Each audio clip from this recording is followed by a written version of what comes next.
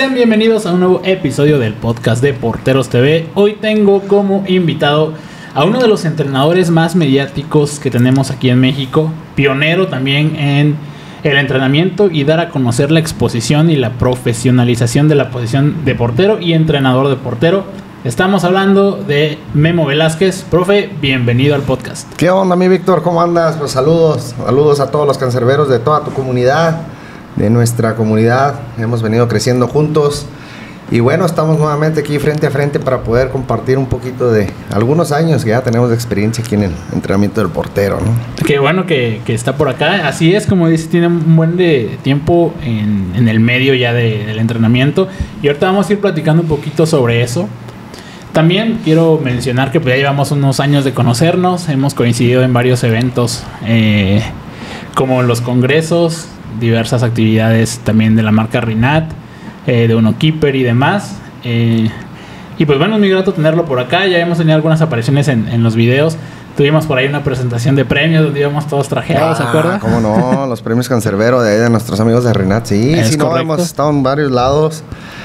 Creo que donde empezamos fue ahí en el Congreso, ¿no? Cuando empezamos a Así darles es. todo el, el hecho de que, bueno, pues ustedes también tuvieron un conocimiento con respecto al entrenamiento del portero que se van a empezar a introducir, a, a generar este contenido para todos los cancerberos. Y bueno, algo que queríamos hacer era que, que estuvieran bien preparados y capacitados, pues para principalmente no engañar a la gente. que Exactamente. Hay mucha gente que, híjole, pero esa era la idea principal. Y bueno, hemos ido creciendo bien ahí de la mano. Fíjese que como bien menciona, eh, a, raíz de ese evento fue como empezamos a, a tratarnos un poquito más. De hecho, yo apenas iba empezando a crear contenido para porteros. No sabía de todo lo que había detrás de toda la posición. Y pues me he quedado muy sorprendido con todo lo que, lo que he aprendido. Obviamente falta mucho por aprender, porque en esto nunca vas a terminar de aprender. Y pues bueno, a raíz de todo esto fue que nos conocimos y empezamos a platicar un poquito más sobre muchas cosas que, que hemos visto en todo este tiempo, ¿no? Y bueno, quiero empezar, profe, primero platicándome sobre su historia. Eh, ¿Cómo empieza? Usted tuvo un acercamiento en el fútbol profesional. Por ahí, incluso hace unas semanas compartió una foto donde estaba con Chuy Corona en Sí. las inferiores de Atlas, si no me equivoco. Entonces, empiezan a contar sobre sus inicios y acercamientos con el fútbol profesional. No, bueno, te lo voy a contar muy breve porque si te puedo, me pongo a platicar los 18 años de experiencia que tenemos, aquí nos quedamos todo el día. Adelante. Este, bueno, yo empiezo como portero, eh, a- pues yo que recuerde más o menos como a los 12 años. A los 12 años yo me gustaba ir a practicar ahí a, un- a una universidad ahí en Ciudad Juárez. Yo soy de Ciudad Juárez, Chihuahua, originario de ahí. Y pasaba todos los días, yo uno de los enteré, un amigo de la familia me veía pasar todos los días con mi balón y pues prácticamente le, le habló, le echó una llamada a mi mamá y le dijo, oye, veo que Memo pasa todos los días por aquí, estoy armando un equipo, ¿qué posición juega? Me gustaría invitarlo. Pues no sé qué posición juega, pero pues le voy a comentar. Y ya me dijo mi mamá, te hago el cuento muy corto, este me invita y me dice, oye, pues vamos a entrenar tal día, pues ah, ahí voy. Total. Yo llegué a la portería porque era de ese típico gordito, chaparrito y pues cuando llego al equipo, como yo soy el 31 de diciembre, pues prácticamente te enfrentas contra una categoría más grande. O sea, soy el 31 de diciembre del 80, pues me enfrentaba con puro jugador del 80, pero pues ya tenía un año de diferencia conmigo. Sí, claro. Entonces cuando llegué, me acuerdo perfectamente porque cuando llego al entrenamiento, pues veo a todos, se los veo enormes, digo, ah, cabrón, dije, ¿a dónde vine a dar? Pues se supone que todos eran de mi edad, pero pues bueno, me llevan un año de diferencia. Y a esa edad del año se nota un montón. No, a las esa edad- categorías son así. A esa edad se nota un montón. Y, este, y en ese momento me dicen, ¿de qué juegas? Y yo, de portero. Me dice, ¿tus guantes? No, así mero, sin nada, yo no llevaba guantes. Y tengo bien grabado eh, hasta el nombre de este chavo que le pegaba durísimo a la pelota, se llamaba Jonathan Hernández. Y me dice, a ver, pon a tu porterito ahí en, la, ahí en el arco para, para tirarle.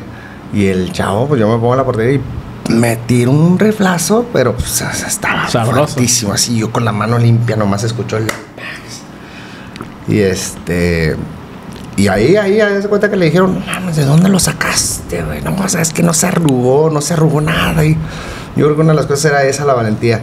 No tengo el cuento tan grande, tuvimos muchos torneos con ese colegio, me inscribí al final en ese colegio y hubo un momento en el que íbamos a torneos internacionales, iban visores.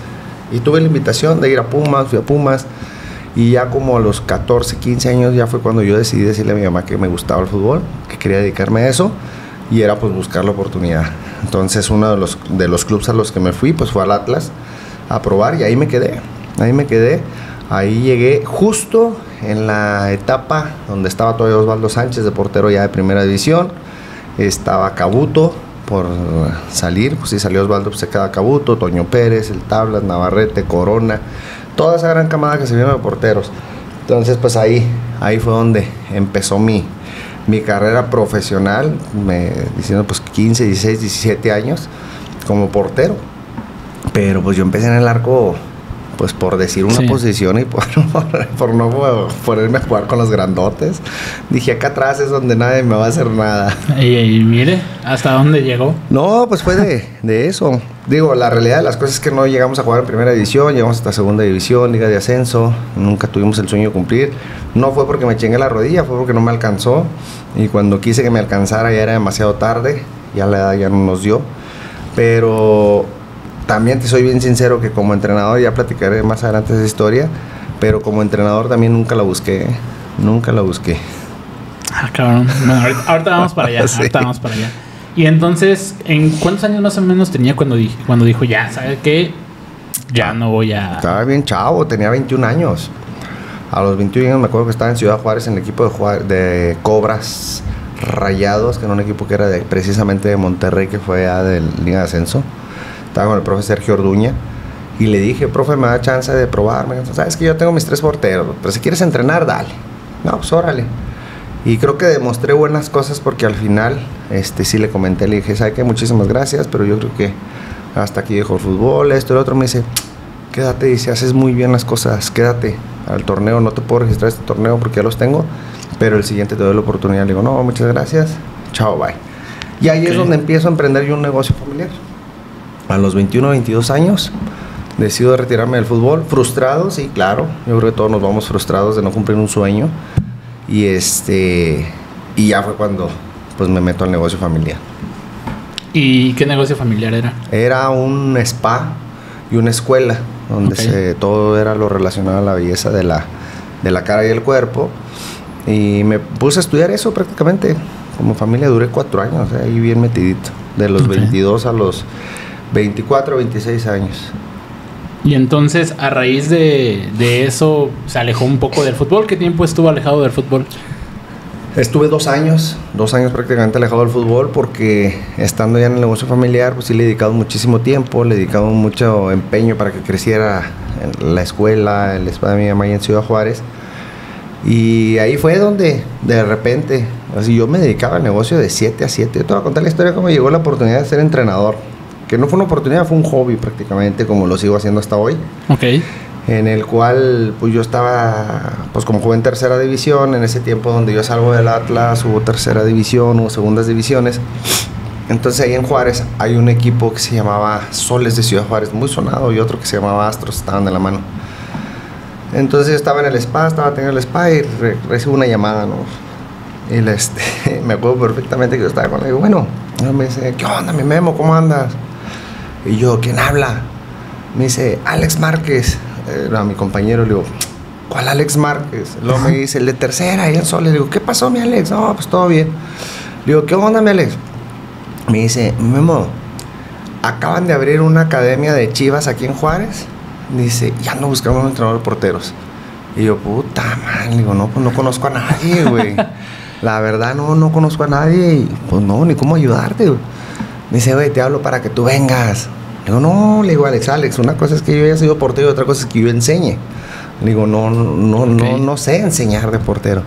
Me dice, güey, pues eras bueno, güey, algo debes de saber. Seguramente algo debes de saber. Le digo, no, güey, o sea, yo para enseñar, no. O sea, yo si voy, pues voy y enseño lo que me enseñaron, pero no soy entrenador. Me dice, échame la mano, güey, échame la mano, este, mira, por tu trayectoria y todo el show, voy a buscar que te paguen muy bien la hora. Me dije, ah, Y le digo así, a ver, le digo, ¿y dónde va a estar la escuela? De donde yo estaba trabajando, que estaba el negocio familiar, hasta la escuela, era cruzar toda la ciudad.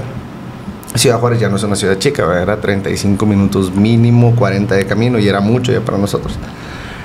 Y este, le digo, no mames, le digo, estás bien lejos, güey. Me dice, sí, sí, sí, pero vale la pena. Le digo, ok. ¿Cuántos días a la semana? Me dice, dos. Yo, ¿y cuánto es el costo de la hora? Me dice, voy a buscar que te la pague. Vas a ser el mejor entrenador, el, el entrenador mejor pagado de la academia. Yo, ¿cuánto la hora? 70 pesos, güey, ¿qué te parece? Y yo, no mames, Alex, vas a ir a hacer por 280 pesos a la quincena hasta allá, le digo, ni la gasolina. Me dice, échame la mano, güey, ándale, que venga. Digo, mira, te voy a ser bien sincero. En ese tiempo, más o menos, ¿cuánto eran 70 pesos? No, Digo, no, no, no. Pues no, también era. Sí, era muy poquito. Sí, sí, sí, sí. O sea, prácticamente no, no era mucho. O sea, pues estoy hablando de 18 años. Pero 70 okay, pesos sí, no era sí, mucho. No, claro, no, sí. no, no, Entonces, le digo, mira, te voy a ser bien sincero, güey. No tengo chance. Estoy en el trabajo familiar de 7 de la mañana a 7 de la noche. No me puedo salir. Digo, no puedo descuidar aquí porque yo estoy a cargo aquí del negocio. Me dice, el horario te quedó a toda madre. ¿Por qué? Entrenamos a las ocho y media, güey. Yo, no manches. Entrenamos a las ocho y media, güey. Te quedó a toda madre el horario. Alcanza a llegar bien. Le digo, mira, ya, mañana te aviso. Entonces así Ay, quedó. Ok. Yo hablé con mi mamá, eh, tuve una llamada con mi mamá en la noche y le comenté, oiga, mire, pues fíjese que me hablaron para esto y aquello. Me dice, ¿qué estás haciendo después del negocio? Luego, pues me voy al gimnasio. Me dice, pues vete dos días, dice, son dos días a la semana, no te quedes frustrado, no te quedes con esa frustración, con esa frustración de haber sido, no haber sido, después estás a de tope, que esto y que lo otro. Y yo, tienes razón. Al día siguiente sí me habló, me dice, ¿qué onda? Sí, le digo, voy, órale. Y así empezó como un hobby, Víctor. Empezó como un hobby el hecho de yo llegar, ver a los chicos. Sinceramente yo les enseñé lo que a mí me habían enseñado, yo no tenía ningún conocimiento. Si, a- si ahorita hay poco conocimiento del entrenamiento del portero, imagínate hace 18 años, había nada. Sí, había no. nada. De hecho, antes, y lo que he comentado en su momento con Cristante y con este momento de Alexa Redondo que vino hace unos episodios, eh, es que hace tiempo, hace unos años, más o menos poniendo una balanza de eso eh, en esos tiempos que usted empezó, el entrenamiento del portero nada más era tiros y ya, ¿no? No, era nada más tirar a la portería y listo y pónganse ahí. y ya nos toca tiro a los equipos ahí van. Entonces, había nada más un solo entrenador, digo, que fue mi maestro, que fue Raúl Morales, que, que pues, o sea, a- hasta la fecha ha sido el entrenador de porteros que más porteros ha sacado a primera división. Toda la camada del Atlas fue de él, desde Fuentes hasta el último que fue creo que Canales. Entonces, me aventó casi 17, 18 porteros. Pero prácticamente yo tuve un muy buen maestro. O sea, Raúl Morales lo tuve de maestro cuando yo me retiro, pues bueno, ya había sido 6, 7 años que, que ya me había entrenado.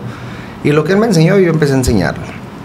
Mucho aspecto técnico, siempre estuve muy casado con el tema de la técnica del portero, porque yo creo que sin técnica, pues el portero no va a poder hacer nada. Y no quiere decir que siempre se esté trabajando la técnica, pero sí cuando yo llego allá a las Chivas, al equipo ese de, de la academia de Chivas, y veo que los chavos no saben agarrar la pelota, le digo a Allen, le digo, Allen, no mames, no saben agarrar la pelota estos muchachos. Me dice, pues, ¿para qué crees que te traje? Dice. y yo, bueno. Desquita esos 70 pesos. Sí, no, no, no. Fíjate que ah, con mucho gusto recibía el cheque. O sea, me daban 280 pesos, Víctor, a la quincena. O sea, no manches, yo decía... Me llegaba el sobrecito y ya, o sea, todo dar, pues mínimo se los echo de gasolinita, algo hacia el carro. ¿ah? Pero a nosotros iba muy bien en el negocio familiar y lo hacía realmente por hobby. Era un hobby, era algo que me empezó a apasionar. Y yo creo que me di- ahí, ahí, ahí me di cuenta que yo tenía un don. Porque yo daba clases en el negocio familiar. Yo creo que ahí desarrollé mucho la habilidad comunicativa. Pero eh, yo también eh, siento que tenía un don en el hecho de que lo que yo sabía lo sabía transmitir y me lo entendían los chavos. Porque empecé a ver cambios muy rápidos. Y dije, ah, cabrón, se me hace que tengo un don de que me lo vayan entendiendo y que lo vayan comprendiendo, que lo vayan ejecutando y que lo realicen. Aparte de la confianza que, les, que, que se les generaba, porque dije, yo siempre he querido tener un entrenador que me dé confianza y que no me esté cagoteando cada vez que, la, que, que me equivoco y que lo tengo que voltear a ver y decir, ay, güey, ¿qué va a decir este güey? Entonces, pues yo siempre fue la idea de, pues hay que darle la confianza a los chavos. Entonces, pues así inicié, Víctor, con un hobby que que ese hobby tiene 18 años, que ahora, pues bueno, gracias a Dios hemos vivido muchísimas experiencias. Y después de eso, ¿cómo se da su primer acercamiento con un equipo profesional o unas básicas? ¿Cómo empezó ya todo ese, todo ese trayecto? Porque, pues, experiencia, montones. Sí, no, ya cuando empezamos ahí con el tema de las academias, yo duré dos años en esa academia, fuimos a Copa Chivas, dos años continuos fuimos y los dos años los mejores porteros fueron de la academia de nosotros, era cuando se juntaban todas las academias, les, les dieron el premio y todo. Y justo llegaba el proyecto de Indios de Ciudad Juárez, allá Ciudad Juárez con un equipo de Liga de Ascenso. Entonces, pues me toca ir a un partido. Yo no iba ni a los juegos, fue creo que la segunda o tercera vez que iba. Cuando yo jugaba, había una persona que se dedicaba a narrar los partidos, que era Gabino Amparán, que fue jugador de primera división, y narraban los juegos de segunda. Entonces él me conocía de cuando yo jugaba. Y en una de esas que voy al baño, este, me lo topo de frente. Y ¿qué onda, Gabino? ¿Qué onda, Memo? ¿Cómo andas? No, bien, ¿y tú no? Pues excelente. ¿Qué estás haciendo? No, pues sabes que pues, estoy ahí en la academia de porteros, como entrenador de porteros. Entonces me dice, date una vuelta por la oficina. Dice, te espero el lunes a las 4 de la tarde. Están aquí, aquí, aquí. Ah, pues órale, pues. Yo dije, órale, chingón, me van a dar el puesto de entrenador por todos del primer equipo. Hijo, el equipo va llegando. Dije, no, ingenuamente, ¿no? Yo pensando. Y ya, total, pues se hace cuenta que llegamos y llego el lunes a la junta a las 4. ¿Qué onda, Camino? ¿Cómo estás? Me dice, oye, me ¿sabes qué? Andamos buscando un entrenador porteros para las escuelitas. Y yo, puta. Le hace, órale. Eh, me dice, le digo, ay, me dice, ¿y se paga por hora? Mm, ya sé más o menos cuánto está el sueldo por hora. me, eh, me, dice, le digo, ¿y cuántas horas son? Me dice, mira, si trabajas una hora se te paga una hora, si trabajas una hora y media se te pagan dos. Ah, dije, pues bueno, ya mínimo una hora y media se pagan dos. Dije, son siete y siete, son 14, ay, 140 pesitos, ¿no? Dije, por dos horas. Sí. Y le digo, ¿y dónde es? En el Parque Central. Estaba a la mitad de donde yo iba a entrenar con Chivas, estaba, estaba muy cortito. Dije, ah, pues a todo hay. ¿Y horarios? No, pues es de 4 a 6. Yo, uy, le digo, no puedo. Yo, sabes que tengo un negocio, no puedo, estoy de 7 a 7, ¿qué esto? Pues piénsalo. Le digo, bueno, oye, ¿y cuánto la hora? Me dice 140 la hora. Dije, ah, cabrón, pues ya sube el doble. Sí, y sí, dije, sí. ah, caray. Pues déjame ver, déjame ver qué puedo hacer. Total, hice algunos movimientos en el negocio, esto y lo otro. Y fui y le dije, ¿sabes qué? Sí, le entro. Chicos, ah, le entro. No, pues órale, pues, te esperamos tal fecha. Entonces, pues imagínate, ganar 280 la quincena, ya ganar 1200, 1300, pues ya era algo que decías, ah, órale, pues. Por esto dos horas al, al- al día. Una hora y media al día. Dije, pues órale, pues está chido. Iba, entrenaba, me hacía cargo, pf, vámonos, de regreso. Y me seguía apasionando, me seguía apasionando muchísimo. Y este. Ahí en ese momento entendí que yo creo que seguía teniendo un don porque los chavos iban creciendo mucho. Pero todos los días que llegaba a las academias, Víctor, llegaba el, el director de academias. Me acuerdo también muy bien, esa la tengo muy grabada. Y siempre me decía, Memo, ¿ya estudiaste el ENDIT? Y yo, no. El ENDIT es el- la, la carrera para director técnico por parte de la Federación Mexicana. Y le digo, no. Le digo, pues, ¿para qué yo voy a ser entrenador portero? Le digo, no, no, no, no lo ocupo. Ok. Me dice, estudialo, es un documento oficial. Yo, ¿no? Era día tras día, Víctor. Todos los días, te lo juro, todos los días llegaba y me decía, Memo, ya estudiaste el ENDIT, ya te fuiste a inscribir. Estaba la carrera en Juárez. Yo, no, güey, no, güey, pues no, güey, yo voy a ser entrenador portero. Yo, ¿para qué, güey? Ay, güey. No, pues así, total, así, era de todos, todos los días. Yo llegó un momento que le dije, güey, no me esté chingando, le digo, no la voy a estudiar. Me dice, estudia el ENDIT, estudialo, es un documento oficial. Le digo, no. Total, así quedó, ¿no? El equipo sube a primera división. Y justamente en ese torneo es cuando la federación exige tener 17 y 20. Me hablando de la oficina. Me dice, oye, Memo, ¿sabes qué? Pues mira, subimos a primera división, el equipo está, este, va a haber un, un torneo en donde pues se exige 17 y 20 y la madre dice, pues ya vas a ser el entrenador de porteros tanto de las escuelitas como de la 17 y la 20. Y yo, ah, órale, no, pues está bien. Me dice, pues ya tu contrato va a cambiar y se te vamos a pagar este 8 mil pesos mensuales. Y yo, ah, cabrón. Dije, ah, pues esto ya, ya empieza a Ya ser. empiezan más en serio. Entonces yo dije, ah, ok, y, las, y los entrenamientos, no, pues en la mañana con 17 y 20 y en la tarde con las academias. Yo, no, pues déjame organizo, porque pues ya 8 mil pesitos, pues en ese entonces era, sí era ya algo, algo, algo considerable. Entonces, pues ya dije, total. Entonces, cuando el equipo sube a primera división, me acuerdo perfectamente que mi maestro Raúl Morales este, se va al, al Cruz Azul. Y haz de cuenta que llega al Cruz Azul y pues le hablo, le digo, profe, ¿sabe que quiero ir a visitarlo? ¿Qué esto, que lo otro? ¿Qué onda? Me da una cita. Sí, vamos a estar en tal hotel. Órale. Pues ya llego, ¿no? Y le platico la historia que te acabo de platicar a ti hasta el momento que la llevaba. Me acuerdo perfectamente que el profe hace esto, saca una mica, me la pone en la mesa y yo así. ¿Qué es eso, profe? Me dice, ¿ya estudiaste el Endit? y yo, o sea, una, una, como una campanada en la cabeza así de que, ah, cabrón. Y me- ahí me quedó muy claro que el tema de la preparación, el tema de la capacitación es fundamental para poder ser de los mejores y más que nada para que puedas valorar tu trabajo. Porque me dice, mira, este es un documento oficial. Y si tú quieres ser entrenador de primera división y quieres ser de los mejores entrenadores de México, ponte a estudiar. ¿Por qué? Porque aquí en México yo soy el único que la tengo como entrenador de porteros y por eso soy de los mejores y por eso estoy ganando lo que gano aquí en el Cruz Azul. ¿Quieres ganar bien? ¿Quieres ser reconocido? ¿Quieres ser de los mejores? Ponte a estudiar el ENDIT. Es el único documento oficial por la federación. Y prepárate y capacítate. ¿En qué año era más o menos? Eso fue, creo que en el 2001, 2002, por ahí, por ahí, más o menos. Y ahí, ahí me quedó bien claro que no hay que escatimar por tu conocimiento. Porque si bien es cierto que jugaste y te preparaste para ser jugador, pero no te alcanza para poderle transmitir conocimiento a los chavos, porque Claro. hay mucho que aprender. Ahorita lo decías tú al inicio, nunca se deja de aprender. Yo tengo 18 años y no puedo decir que me las sé todas, sigo viviendo experiencias, sigo aprendiendo muchísimo. Y con los eventos, o sea, el hecho de que yo te puedo decir que mi metodología cambia cada año o cada vez que tengo un evento, porque la sangre nueva que viene atrás de mí, todos mis colaboradores, me, me, me, abre, me hacen abrir los ojos y decir, Y le exigen conocimiento de alguna forma. Claro, Claro. claro. Entonces, por ejemplo, ahora que organizamos eventos, antes yo te podía decir que el evento, pues tener ocho porteros activos al mismo tiempo pues, es una chulada, pues ya lo dominábamos.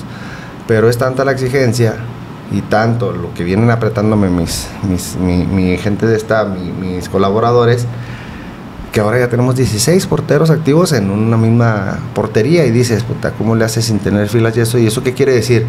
Que va evolucionando, esto va evolucionando, va evolucionando, no dejas de aprender. Y yo hoy en día, en los eventos, no sabes la cantidad de cosas que he aprendido para ofrecer algo diferente. Entonces, en ese momento que el profe me puso la credencial, dije, tengo que estudiar, tengo que estudiar, tengo que capacitarme. A partir de ahí lo entendí claramente, que no podía dejar de estudiar algo que, que realmente me apasionaba. Entonces, pues bueno, y me lo dijo, si tú llegas a hacer esto, vas a ser reconocido, vas a ser de los mejores, vas a estar en primera, vas a cumplir tus sueños. Y mira, pues ahora le digo lo mismo a todos los que van empezando, a todos los que están en el mismo camino, ¿no?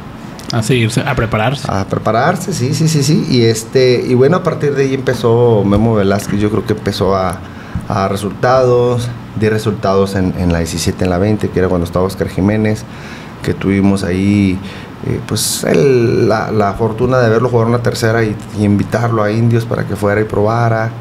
Entonces, pues él también pues empezó a escalar, escalar, escalar hasta llegar a primera edición. Eh, me dan la oportunidad en primera edición en cierto momento y después de seis años, de seis años de estar trabajando, me dan la, la- no, de cinco años de, de estar trabajando de resultados, me dan la oportunidad de ir a, a primera. Pero me dura muy poco, Víctor, me dura muy poco porque el equipo desciende y una vez que desciende lo desafilian. Entonces dije, bueno, se acabó, ¿verdad? Dije, pues bueno, órale. Pues sí, decís. Fue bueno mientras duró. Fue bueno, bueno mientras duró. Mandé currículums a varios equipos. Este, eh, tuve la fortuna de trabajar con Cristian Martínez, con Chicharo Lozano, con Humberto Gancito Hernández. Y Cristian Martínez y los tres, los tres prácticamente me decían, oye, pues es que ¿por qué no buscas una oportunidad en el sur? Se ve que le sabes, se ve que te gusta y esto, no, pues, pues a ver si se llega a dar algo, ¿ah? Pero afortunadamente hice muy buena relación con ellos y el Chicharo se va a San Luis. Cristian Martínez creo que se retira. Humberto sigue jugando. Pero el Chicharo me habla y me dice, oye, se abre una vacante acá en San Luis de entrenador de porteros para básicas. ¿Quieres que meta tu nombre? Yo, pues sí, mételo. Chicle, y Chicle pega. Entonces, en ese entonces, yo ya me había salido del negocio familiar, pero había puesto un negocio propio, que era un restaurante de jugo, licuados, ensaladas, todo natural. Y nos iba muy bien, Víctor. Nos iba muy, muy bien. O sea, era un día muy malo, pues eran, era muy buena cantidad de dinero así ya libre y todo. En aquel entonces estoy hablando que eran 3 mil pesos libres ya yéndote muy mal, pero libres de que pagaste gastos, salarios, todo.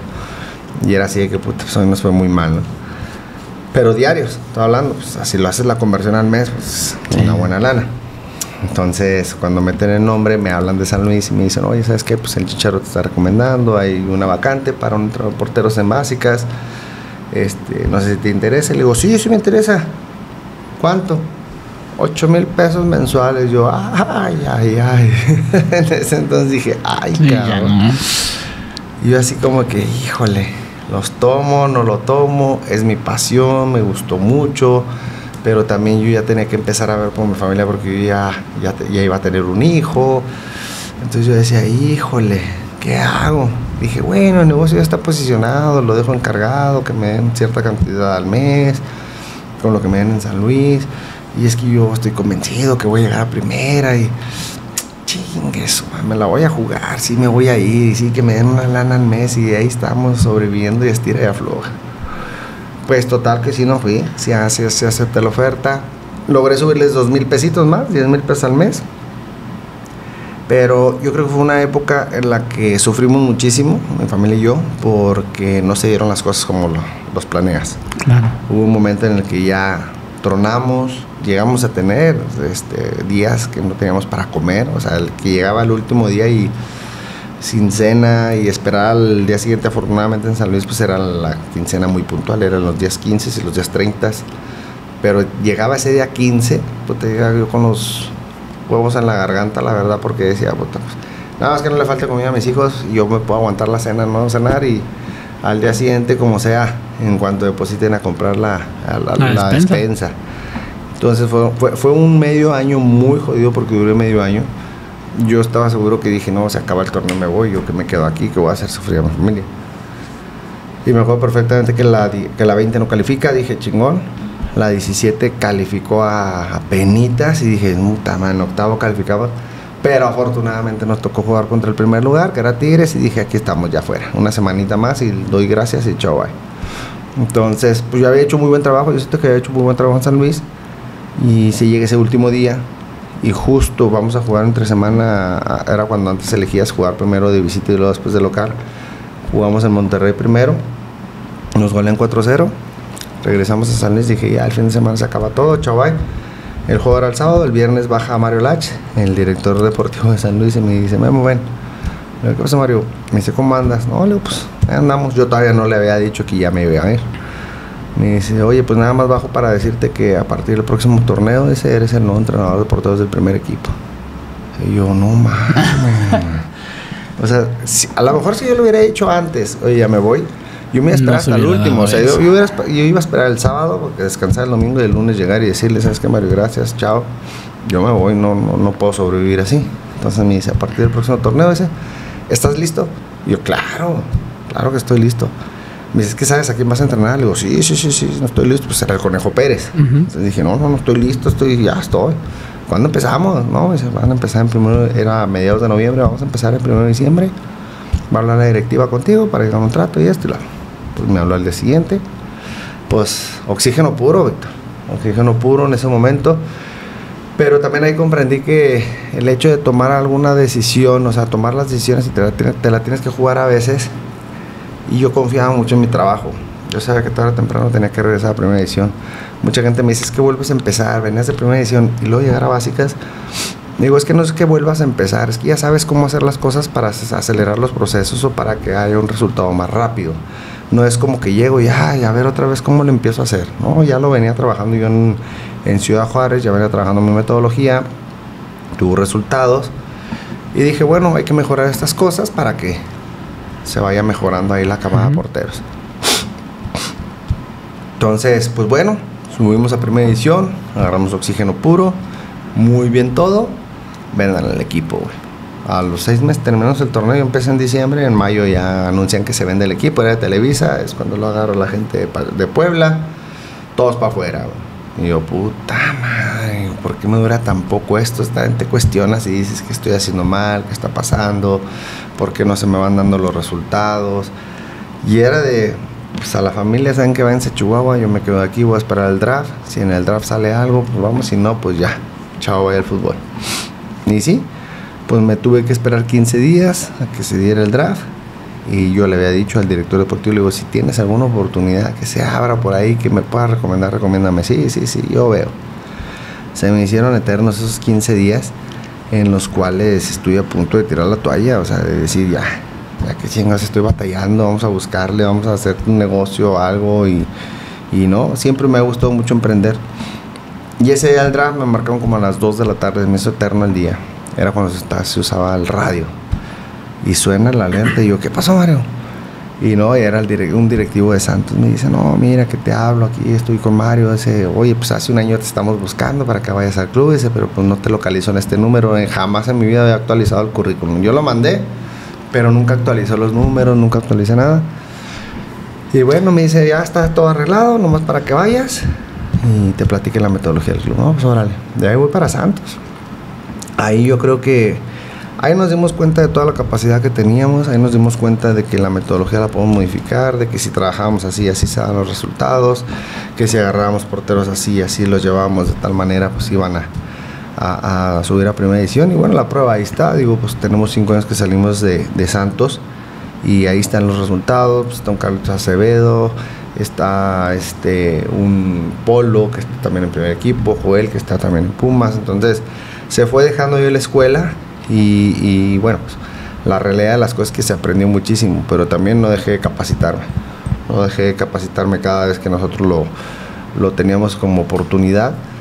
Y, este, pues ahí duramos seis años, seis años trabajando para Santos, en donde, pues bueno, la verdad tuvimos muy buenas experiencias porque trabajaba al lado de Osvaldo Sánchez, trabajaba al lado de Agustín Marchesín, pues te va enseñando, te va enseñando muchísimas cosas. A ver, profe, y ahorita ya me mencionó algunos nombres, de hecho se saltó por ahí, está, no lo quería interrumpir, pero por ahí eh, me llamó la atención, entre todo lo que me acaba de contar, cómo le dijeron que se iba a entrenar con el Conejo Pérez. Vamos a empezar por ahí, ¿ok? ¿Cómo fue entrenar con el Conejo Pérez? No, hombre, yo la verdad que cuando, ay, sinceramente cuando a mí me nuevo entrenador dije, ser conejo, dices, puta madre, tres mundiales, ¿qué le vas a enseñar? ¿Qué le vas a decir? ¿Cómo te vas a dirigir con él? Yo era la primera vez que tenía la experiencia de encontrarme con un arquero de, esa trayectoria, ícono del fútbol. Y mucha gente criticó la decisión de que yo fuera a primera edición porque dice, ¿qué le va a enseñar al conejo? Dice, es que deja tú lo que le enseñe, que lo mantenga, güey. Ahorita que le vas a enseñar, pero manténlo, ¿ah? manténlo en un buen ritmo, manténlo jugando al 100%. Y yo creo que pues ya traíamos esa preparación y tenemos esa seguridad en el cual el mismo conejo dice, ¿sabes qué? Hacía mucho tiempo que no me sentía tan fuerte como cuando trabajé contigo. Se le dio un segundo aire, güey, se fue a Pachuca y fue campeón. Ah, sí. Entonces, dices, puta. Entonces, pues sí, sí, sí, la verdad, pues sinceramente sí me sentí con ese temor y esa inseguridad, pero conforme fueron pasando los días y las jornadas, y, más porque yo batallé muchísimo para agarrarle el ritmo, el ritmo del conejo, los tiempos, era rapidísimo, cabrón, no mames, es rapidísimo, o sea, yo le pateaba y estaba parado, dije, ah, cabrón, y le pateaba a los otros y pues apenas llegaban volando, pero el conejo llegaba parado, yo decía, ¿cómo le hace este cabrón para ser tan rápido? ¿Cómo le hace para la, potencia de piernas que tenía impresionantes? Nunca, me tardé un mes y hasta él me decía, tranquilo, tranquilo, carnal, ya ¿Ah, le vas a agarrar. Sí, porque se reía, o sea, decía yo, mames, ¿qué pido? O sea, el momento que está haciendo el ejercicio, se agachas la mirada para golpear la pelota y de repente lo ves parado agarrándote el balón así, dices, ¿en qué momento se trasladó tan rápido? Entonces él mismo me decía, tranquilo, ya me vas a ir agarrando el tiempo. es normal, dice, siempre pasa. ah, bueno, no soy el único pendejo. Pero sí, sí, sí, fue, fue una experiencia muy bonita. Hicimos muy buen clic, hasta la fecha somos muy buenos amigos. Nos llevamos muy bien. Y este... Y yo creo que ahí, ahí me empecé a dar cuenta que también tenía capacidad. Yo creo que ahí me empecé a dar cuenta que dije, estoy preparado para lo que venga. Para lo que venga. Sí, ¿no? Y como dice, ahí también aparte desarrolló una buena relación con, con él y con, los... quiero suponer que con el grupo en general, pero obviamente siendo el conejo el, principal, ahí obviamente centró mucho el, el, trabajo, ¿no? Porque al fin y al cabo él era, él era el titular. Sí. Y mantenerlo, como bien dice, no era tarea sencilla. No, no era tarea sencilla. Aparte, sabes que me tocó una época jodida porque el conejo pues tenía 40 años, el chicharo venía con 32, 31 años y aparte tenía un chamaco de 19 años. O sea, todos de diferentes edades. El saber manejarle las cargas, el saber manejarle las cantidades, el volumen, todo de trabajo, pues no iba, al final del día muchos se rigen por consentir al titular y descuidar a los otros chavos. Entonces yo Ok. traté de evitar eso, traté de cuidar al titular, trabajar al medio y exigirle al joven, porque al final del día pues a él todavía le quedaba una trayectoria para avanzar. Sí. Pero bueno, pues sí cuidar al conejo, decirle dos, tres repeticiones tú, tú me vas a hacer una más. Y, a lo mejor no diciéndoselos, pero decir, ah, chicha, regálame otra, güey, mira, porque no me gustó esto. Entonces, pues ahí se las vas maquillando.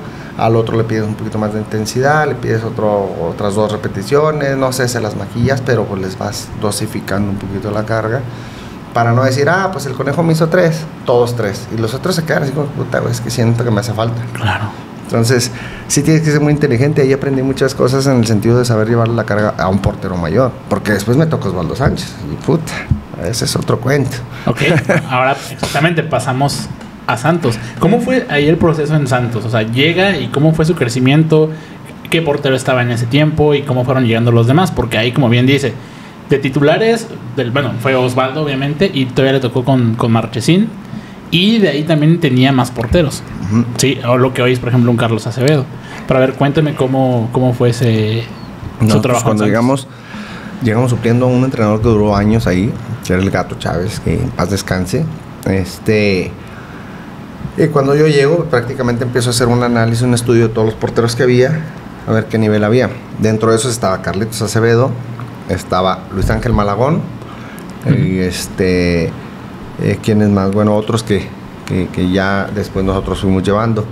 Pero Julio acababa apenas, estaba entre la 20 y Primera División. Julio González. Julio González. Entonces, pues bueno, pues ya prácticamente estábamos ahí. Y en ese entonces que llego yo, llega justamente Pedro Cachiña. Llega con todo ese equipo de trabajo.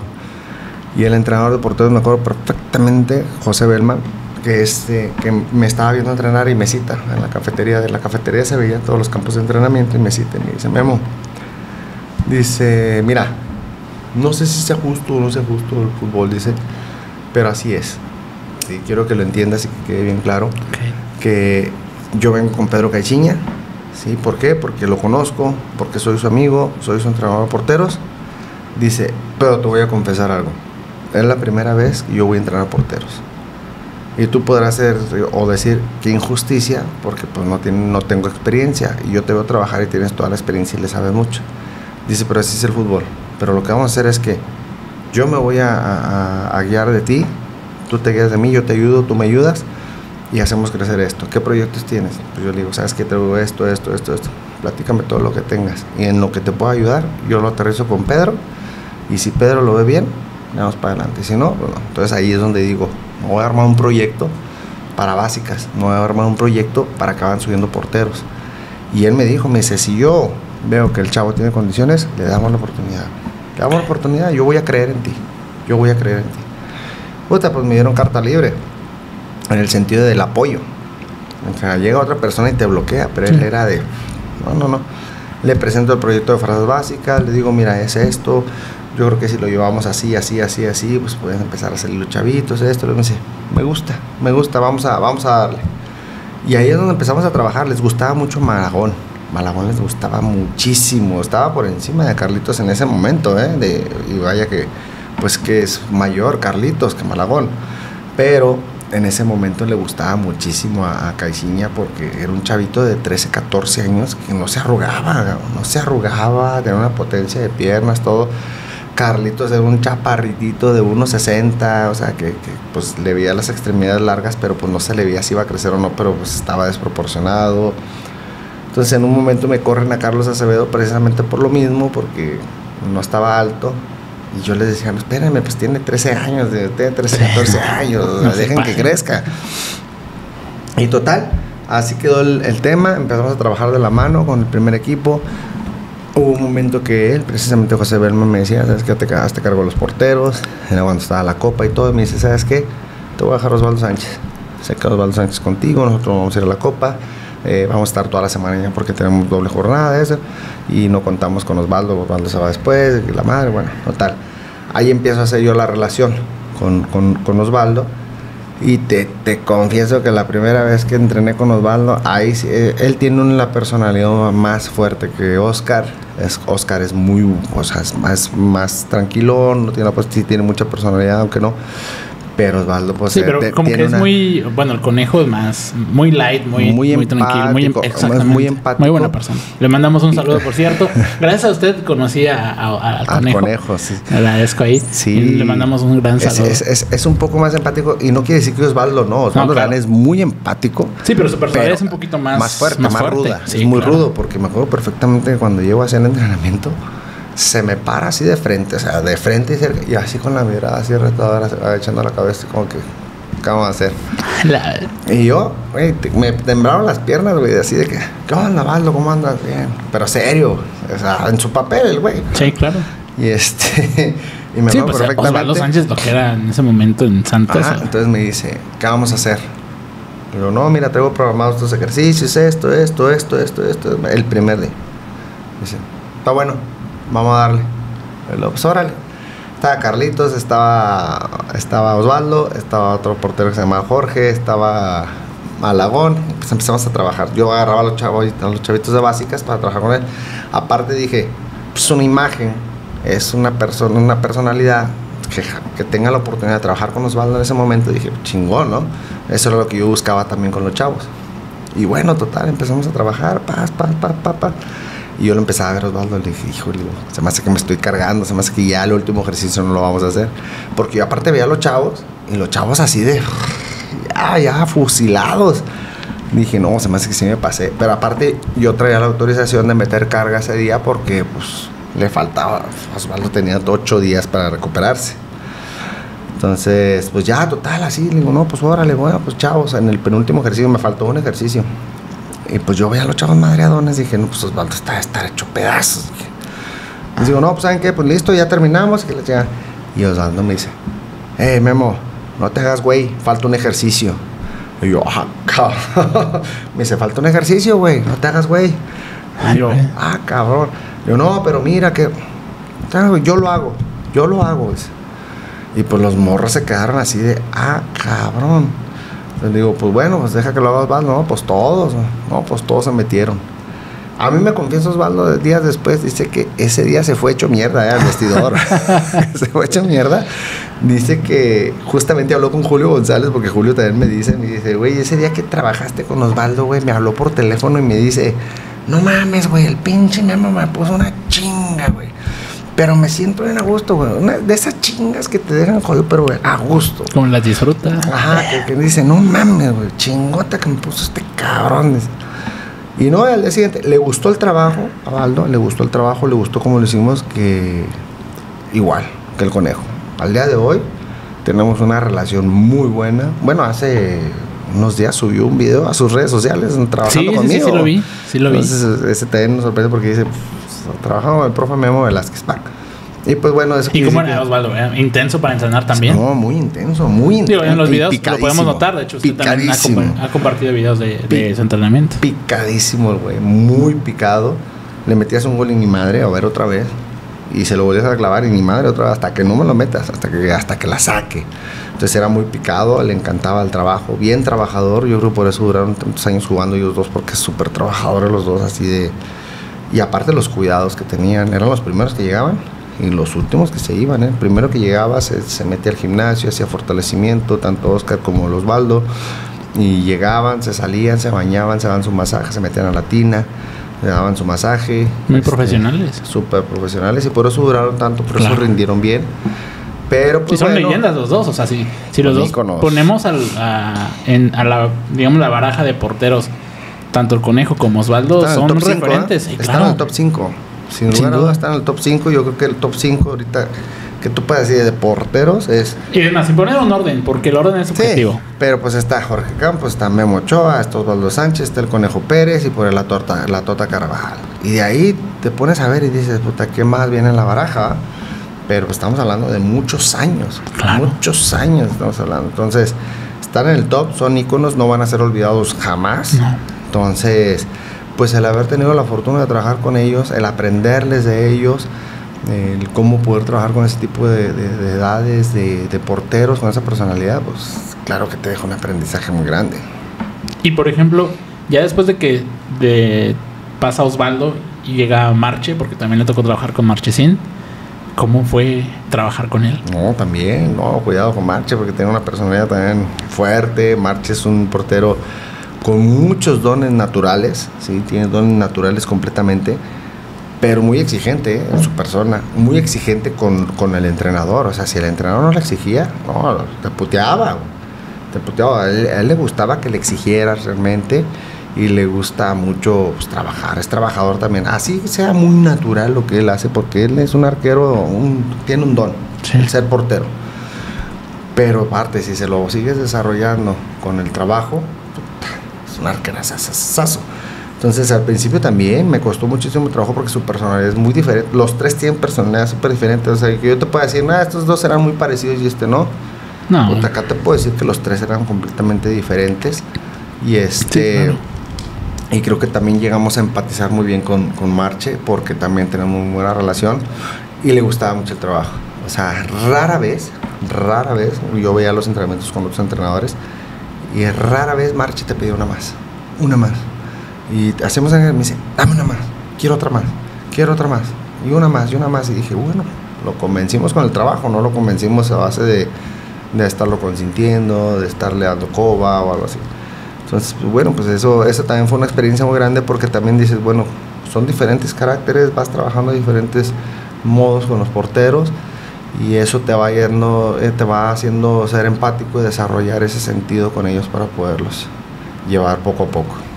Pero Mm. sí, sí, so- son, son tres porteros muy, muy, muy, muy diferentes, pero que trabajé muy a gusto con ellos. no, claro, y todo, como dice, todo el aprendizaje que usted obtuvo y, y obviamente ellos también, pues hoy en día también han encaminado, por ejemplo, en su caso, que desarrolló muchas nuevo, mucho nuevo aprendizaje, canalizándolo pues en querer seguir también usted compartiéndolo con la comunidad de entrenadores y porteros, ¿no? Sí, sí, sí, sí, no, el aprendizaje que yo obtuve de ellos fue muchísimo. Este, yo creo que uno de los principales factores que hacen que tu metodología cambie, el principal, no, no sin duda uno de los principales, el principal factor son los porteros. Son los porteros porque ellos te van mostrando el camino. Ellos te van mostrando cómo debe de ir poco a poco llevándose a cabo el, proceso. Y si algo no está funcionando con ellos, uno, te lo van a decir, te lo van a reprochar, se van a dar cuenta que no sabes, o simple y sencillamente no vas a ver los resultados y vas a decir, pues que estoy haciendo mal. Y, y, por ejemplo, con los porteros que traía atrás, por decir, ah, los que venían detrás de, de Conejo en su momento, eh, de Osvaldo, Marche y demás, ¿usted cómo los notaba? ¿Qué, ¿Cuál era su percepción que cree usted que tenían de, del trabajo que realizaba con ellos? No, pues es que es más fácil irlos viendo con el paso de la formación, porque en la formación tú llevas unos procesos y dices, bueno, de esta edad a esta edad, y yo sé que el portero tiene que estar así, Claro. de esta edad a esta edad así, de esta edad a esta edad así. Primera edición mucha gente dice, es que ¿qué le vas a enseñar? Es que sí hay veces que se les puede enseñar Claro. cosas, ¿sí? Por ejemplo, a mí Osvaldo Cintas me decía, güey, yo ya no volaba, güey, me hiciste volar otra vez. Él no embolsaba, él agarraba la pelota con las manos y, y ahí la dejaba muertita. Terminó embolsando. Marche no sabía hacer el giro no sabía hacer el pasaje de piernas y terminó haciendo los dos. Este, el conejo no sabía recepcionar una pelota y terminó recepcionando. Y dices, puta, tres veces mundialista y tiene una falla. Nada más porque no se perfilaba bien. Entonces le decía, "Güey, güey, le tienes que poner trabajos en donde no le digas, oye, pues es que necesito que te perfiles. Mejor le pones trabajos Y ya después solitos se dan cuenta. y solitos vas mecanizando el movimiento. Entonces, a Osvaldo le cagaba que le pusieran en bolsas así hincado y, y, me decía, güey, no mames, güey, yo no voy a aprender nada. O sea, ¿qué, me, qué, más enseñame? A mí manténme bien. Digo, no, güey, está bien, sí, no pasa nada, nomás es para el calentamiento. Pero al final del día, quieras o no, le vas mecanizando ese movimiento. Y va generando un patrón de movimiento y al final... Cuando pues, se dio hace cuenta, menos. Bueno, cuando menos se dio cuenta, ya, lo- estaba haciéndolo, Sí. ya estaba haciendo natural. Entonces le digo, no, tranquilo, güey, pues está bien, nomás para calentar, güey, tú dale, güey, ah, está bien, está bien, está bien. está bien. Entonces, pues esa es la idea, digo, en formación, pues prácticamente eso es lo que pasa. Lo va- te vas dando cuenta de los resultados en base al, al nivel de, eh, eh, de exigencia. Y vas diciendo, bueno, sí, el chavo va, va teniendo mejor toma de decisión, está resolviendo bien tácticamente, técnicamente, ahí va creciendo y esto lo otro. Pero en profesional, pues es mantenerlos a competición y sabes que en primera división no hay margen de error y cuando hay un margen de error, pues cuesta muchísimo. Entonces, pero, pero aparte, eso, eso es lo que teníamos siempre, tratábamos de involucrar a los chavos con los porteros de primera división para que los observaran. Ya aprendían un montón. Y después de eso, sale de Santos. Salgo de Santos porque me siento que estoy atorado, me siento que estoy que estoy estancado. Sí, yo sentía que estaba como que necesitaba algo, necesitaba dar ese paso, ese paso de calidad o ese, ese paso de, decir, quiero estar más arriba. ¿Qué hago? Siento que me, que me estancaron un poquito y tomo la decisión de irme a preparar. Pero al momento de tomar la decisión, también tomo la decisión de darle gracias al club. Y había mucha gente que me decía, güey, estás loco, güey, o sea, tú eres de los que mejor gana. ¿Quién quisiera estar en esa posición? Tarde o temprano te va a volver a llegar la oportunidad, qué sé yo. Pero les digo, me siento estancado. Siento que necesito dar ese salto de calidad. Y la única opción de darlo era cuando a mí me ofrecen que me vaya a Londres a capacitar. ¿sí? Me ofrece José Zambade, que es uno de mis mentores. Me dice, güey, vete 15 días a Londres, yo te capacito, ¿qué quieres aprender? Digo, todo lo que es referente a la portería, todo lo que es referente al gimnasio, de portero específicamente. Me vete 15 días, en 15 días yo te dejo al 100 órale, me dice, paga tus viáticos, paga esto, bla, bla, bla, órale. No mames, cuando me doy cuenta, pues a Londres es la ciudad más cara. Dices, el vuelo, el hotel, las comidas, los traslados. Afortunadamente, cuando llego a Londres, al cuarto, mi cuarto tiene un refrigerador y abajo hay un súper. Me compré mayonesa, jamón, pan, crema, cacahuate, mermelada, agua, leche. ¡Pum! Con eso me mantuve los 15 días porque el poder yo salir a comprar una comida eran 35, 40 libras. O sea, que lo estás multiplicando por 25. Y si te querías echar una cervecita en un bar, eran 7 libras cada cervecita. Entonces dices, puta madre, pues no puedo darme un lujo de una comidita. Lo tuve que hacer porque pues en cierto momento tenía que invitar a mi mentor a comer y pues cuando me llegaban 60 libras decía, ay Dios mío. Entonces dices, pues bueno, o sea, que valga la pena todo esto. Y digo, ese viaje fue financiado 100% por usted. Por mí, por mí, sí, sí, sí, porque en ese momento yo doy las gracias en Santos y pues digo, pues de mis ahorritos, de esto, de lo que me liquiden, pues de ahí me agarro. Entonces, pues no hubo una liquidación como tal, simplemente me regresaron mi bono de lo que llevaba de ahorro y listo no más, o sea, no hubo nada, nada, nada, de liquidación. Yo dije, oye, pues, ¿saben qué? Pues de lo que sé que estoy renunciando, sé que me voy a ir, pero bueno, pues ya Carlitos ya había debutado en primera división, este, ya estaban dos porteros en primera división de la, de la cantera y todo. Le digo, no les estoy pidiendo la perla de, las perlas de la Virgen, me voy a a capacitar a Londres, necesito un apoyo, nada más denme un apoyo. Entonces no tuve el apoyo, tuve que sacar todos mis ahorros y en esos 15 días, Víctor, yo me gasté 75 mil pesos en 15 días. En 15 días que dije, espero que esto valga la pena, porque cuando regresé no tenía para la renta. No tenía para la renta. Yo ingenuamente me fui diciendo, ah, cuando regrese voy a tener chamba bien fácil. Batallé seis meses para tener trabajo. Ya venía con mis proyectos, de lo que eran los campamentos, las clínicas, capacitaciones personalizados y demás, pero no estaban tan fuertes. Entonces, pues ahí entre estira y afloja, ya ese año, más o menos qué año era en ese tiempo? 2018. 2018. O sea, cuando fue el congreso, ¿fue lo primero que hizo después de regresar? No, hice primero el congreso. Y luego ya cuando regresé, seguí haciendo el congreso. Ok. Pero este, la realidad de las cosas es que estoy hablando de 2018, 19, 20, 21, hace cuatro años. Hace cuatro años que me pasó todo eso y que yo todavía no tenía ni para...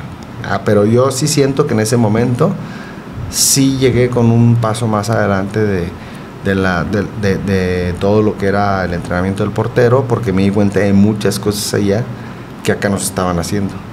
Entonces dije, bueno, voy a implementarlo, voy a empezar a trabajarlo, voy a empezar a probarlo para ver si sí. Entonces, pues lo empecé a probar, porque a los seis meses me llega la invitación de Necaxa. Y ahí duré muy poquito, un año, un año nada más. Entonces, pero ahí es donde yo empecé a implementar lo que fui a aprender y me doy cuenta que los procesos se pueden acelerar un poquito. O sea, acelerar en el sentido de que se pueden adelantar, porque yo cuando llego a Santos, yo doy un proceso de cinco años en Santos. Yo dije, en cinco años ya tienes un portero en primera edición. Y al cual, en los primeros tres años tenemos un portero en cada selección nacional. Al cuarto año ya debe haber debutado un portero del club en primera edición. Y al quinto año tiene que ser titular. Y así pasó, ¿eh?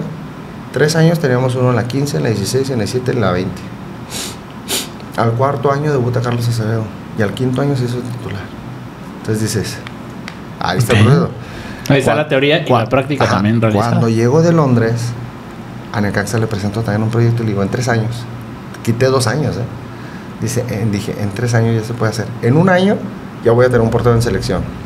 Al segundo año ese portero de selección tiene que brincar a primera edición y a mí no estar peleando un puesto para poder jugar una copa.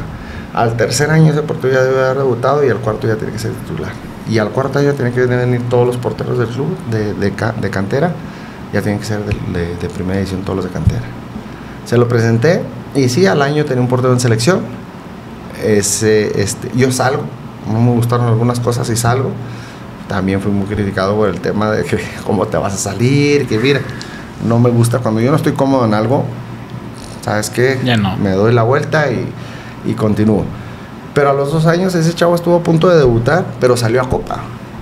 Entonces, sí se iban dando los procesos y los ibas adelantando. Entonces, a mí me sirvió mucho esa capacitación y a partir de ahí dije, no puedo dejar de capacitarme nunca jamás. Tengo que estar, tengo que estar, tengo que estar. Y muchos me dicen, ay, güey, pero ya sabes mucho, sí, le digo, pero tengo que saber resolver problemas. Yo creo que acude mucha gente a mí preguntándome, oye, ¿cómo le, hace, ¿cómo le hago para esto? ¿Cómo le hago para aquello? Y afortunadamente nosotros tuvimos que resolver problemas en las escuelitas, en las academias, en Indios y Ciudad Juárez, sin tener un mentor. ¿sí? Un mentor te dice cómo quitarte piedras del camino, ¿para qué? Para que te lleguen más rápido a, solucionar cierto, cierto problema. Y yo no lo tuve. ¿Qué tuve que hacer? A prueba y error. ¿Cómo le hago para que este chavo haga esto? A ver, pues ahora haz esto. Y a ver, ahora es esto, no está funcionando. Puta, ahora es esto. Entonces, todos los problemas los tuve que resolver prácticamente yo y me costó muchísimo más tiempo a lo que ahora que pasa con mis colaboradores. Me hablan y me dicen, oye, profe, ¿sabes qué? Es que tengo un chavo así, así, ¿cómo le va? Pues haz esto. Ah, no mames, profe, de volada. Ah, bueno. Entonces lo que yo logré en 18 años, ellos lo van a lograr en 5 o 6 años, güey. Porque les dejo el camino un poco más fácil. Claro. Entonces, no ha sido fácil, Víctor, no ha sido fácil. Son 18 años que dices, la gente ahorita probablemente conoce un Memo Velázquez, yo creo que de 3 años para acá pero todavía hace tres años yo no tenía para la renta de mi casa. No tenía para la renta de mi casa. Entonces fue donde dije, pues lo voy a apostar a lo mío, a lo mío, a lo mío, a mis proyectos, a todo. Y pues bueno, pues ahí vamos creciendo. No te digo que estamos muy bien, pero bueno, vamos creciendo. Ok, de Necaxa, como bien lo menciona, da también, empieza con, con los proyectos personales. En ese momento estaba aquí como lo del Congreso y ah, empezaba a hacer esa va a ser cara lo de, lo del Skipper Clinic de así. Y después llegó lo que viene siendo hoy en día el Goalkeeper Experience. Sí, antes de eso estoy en Necaxa y ya se acerca Renal con nosotros. Nosotros ya tenemos seis, tenemos 10 años trabajando con Renal prácticamente, pero hace seis años es cuando me dice, oye, profe, ¿sabes qué? Pues me gustaría hacer contenido para porteros, como ves, yo sí, ¿qué quieres hacer? Tips, Simón. Me dice, pues es que queremos aprovechar tu conocimiento, Simón es una decisión muy difícil para muchos, Víctor, cuando no se tiene la confianza. Y yo dije, me voy a exponer en redes sociales con mi conocimiento. Sé que vamos a sufrir de críticas, sé que va a ver hate. eso es de cajón, ¿eh? Eso es de cajón. Sí, no, no, no. pero hay muchos que no lo aguantan, ¿eh? Hay muchos ah, que no lo entienden. Sí, no. Y, y, no lo entienden. Digo, al final del día no les vas a dar gusto a todos. No les vas a dar gusto a todos. Pero yo estuve consciente desde el momento que Renan me dice, oye, queremos generar contenido, y yo sabía que Renan me podía poner una buena plataforma. Eso es una realidad. La mejor marca de México me anda buscando para generar contenido, vamos a generarla.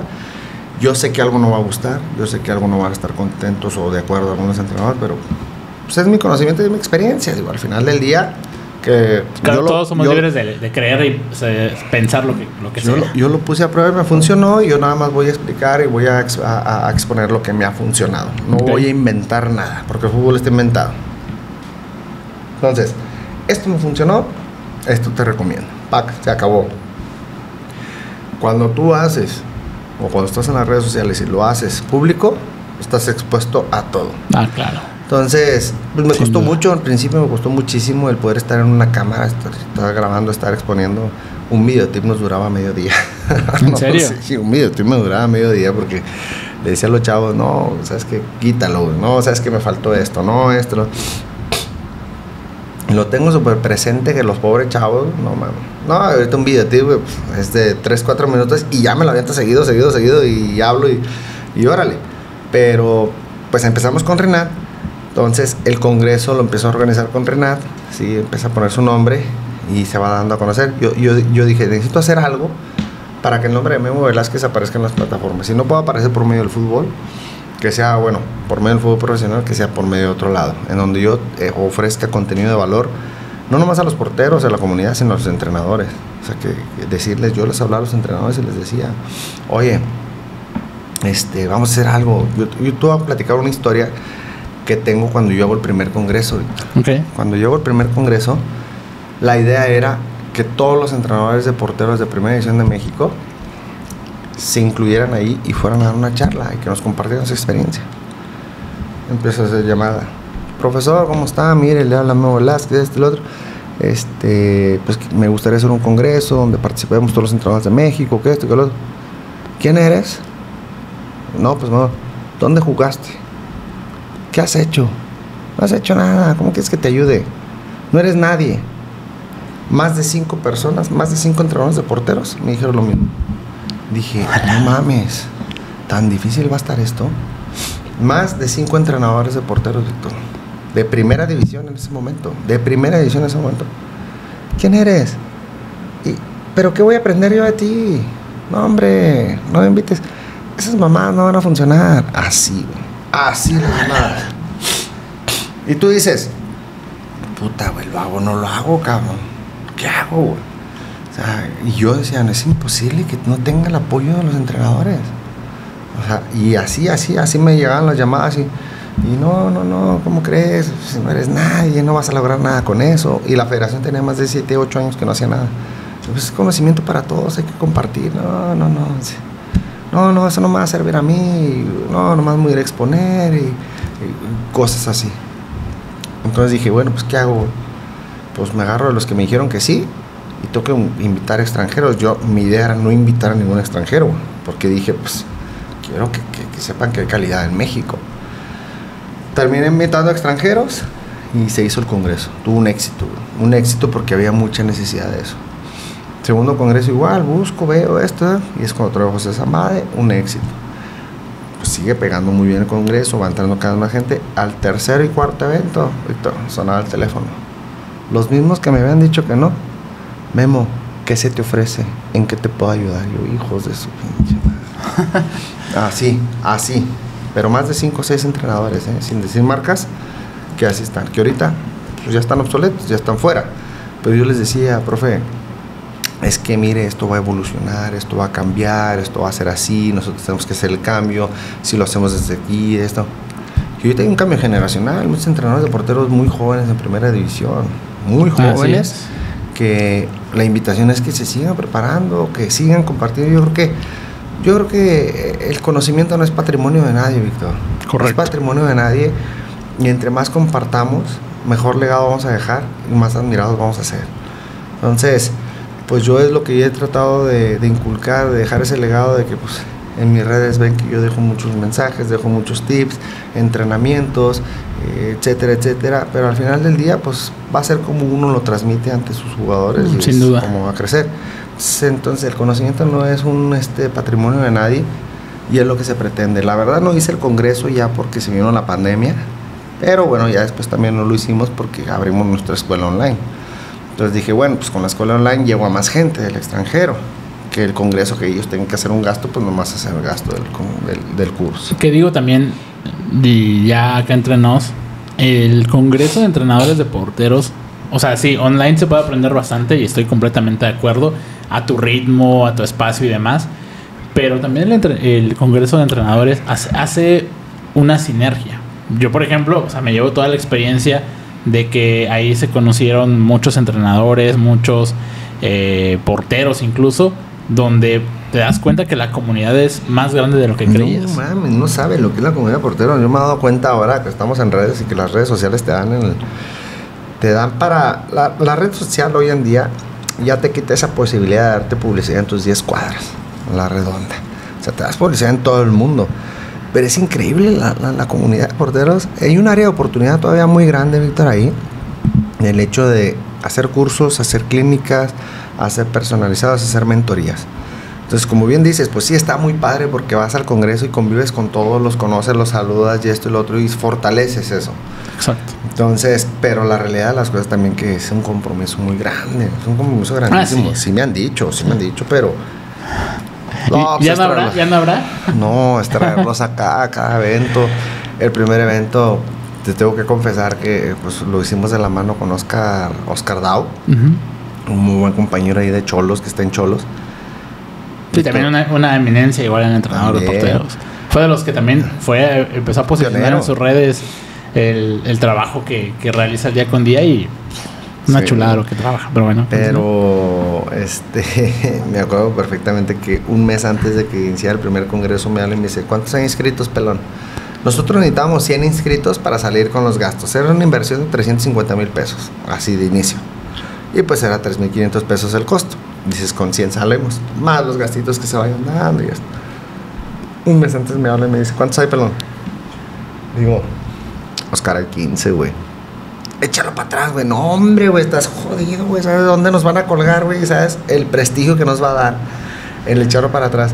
Es que nos faltan un chingo, que no, le digo, pues ni pedo, güey. Pues a darle publicidad, cabrón, todos los días a publicar, a publicar, a publicar. 15 días antes ¿cuántos hay? 70. Puta madre, pelón, que la chingada. Va a salir, güey. Entraron 120, ¿sabes? Dijimos, ya ves, te digo, pero siempre estamos acá. Y me dicen, ¿cuándo otro? No, güey. No, no, no. Acá traigo los huevos cada vez que lo hago. Le digo, no, no, no, ya, ya. No sé, probablemente ahorita puede tener un poquito más de auge porque ya tenemos más nombre. Ya, Sí, ya- y ya, hay más gente- facilidades también en las mismas redes sociales Sí, para poderlo ya, hacer. exacto, ya, ya sabes hacer una pauta que llega a todos lados. Este, el hecho de que pues ha crecido la comunidad también. Entonces, pues está, está ahí, ahí, ahí Digo, tentador ojalá todavía. pronto nos, no es presión, pero ojalá que pronto nos sorprenda con algo así. Vamos a ver más adelante, ahorita que ya estamos más dedicados a nuestros proyectos, pues le podemos dedicar el 100% a eso. Ok. Y ahora platícanos un poquito de la selección. También sabemos que, que ha tenido un proceso por ahí y que también así fue un, fue un sueño que estuvo buscando, se dio. Eh, ¿Cómo fue cómo, fue el, proceso y cómo llegó la selección? Sí, no, yo creo que es el, el- el- sueño de todo, de todo deportista, el representar a tu país, de todo entrenador también, el representar a tu país y que puedas cantar el himno nacional en una competencia oficial, que me tocó en dos premundiales y bueno, varios viajes. El hecho de selección es que yo decido dejar el fútbol por completo ya al profesional, decido, tomé esa decisión, de, o más bien tiré la toalla, sinceramente tiré la toalla porque se me hacían, había muchas cosas que no se daban, no se me estaban dando ciertas, ciertas cosas, decía, puta, que injusticia, que esto.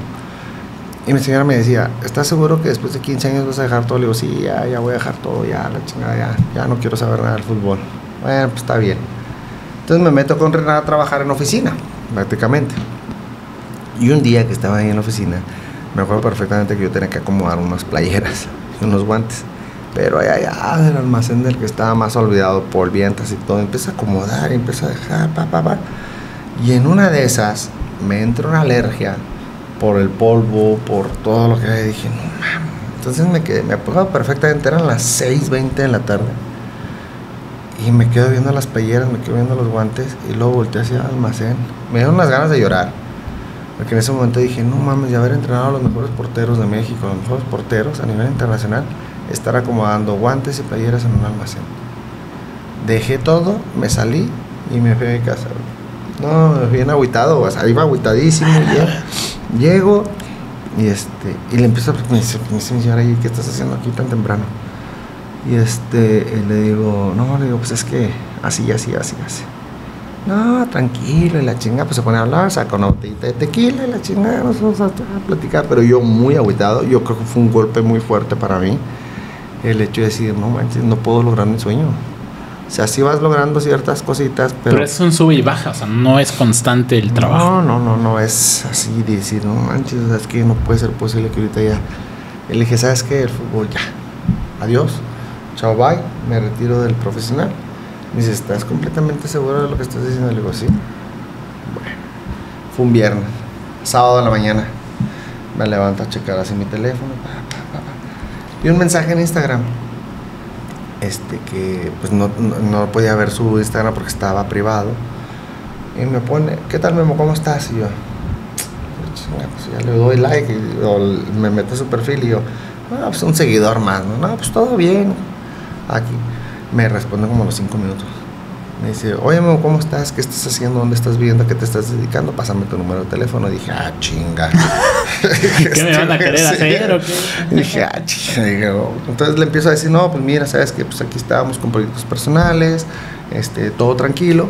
Y justamente cuando le iba a poner, porque pues, a veces les digo, pues, pues, justamente le iba a poner todo lo que se te ofrezca por redes sociales, en algo me distraje. Pa, pa, pa, no, sí. Entonces me quedé viendo el mensaje atrás y dije, no me quedé con la espinita. Pues ya se cuenta que me meto al Facebook y empiezo a buscar su nombre. Pa, que le doy link. Luego le empiezo a dar.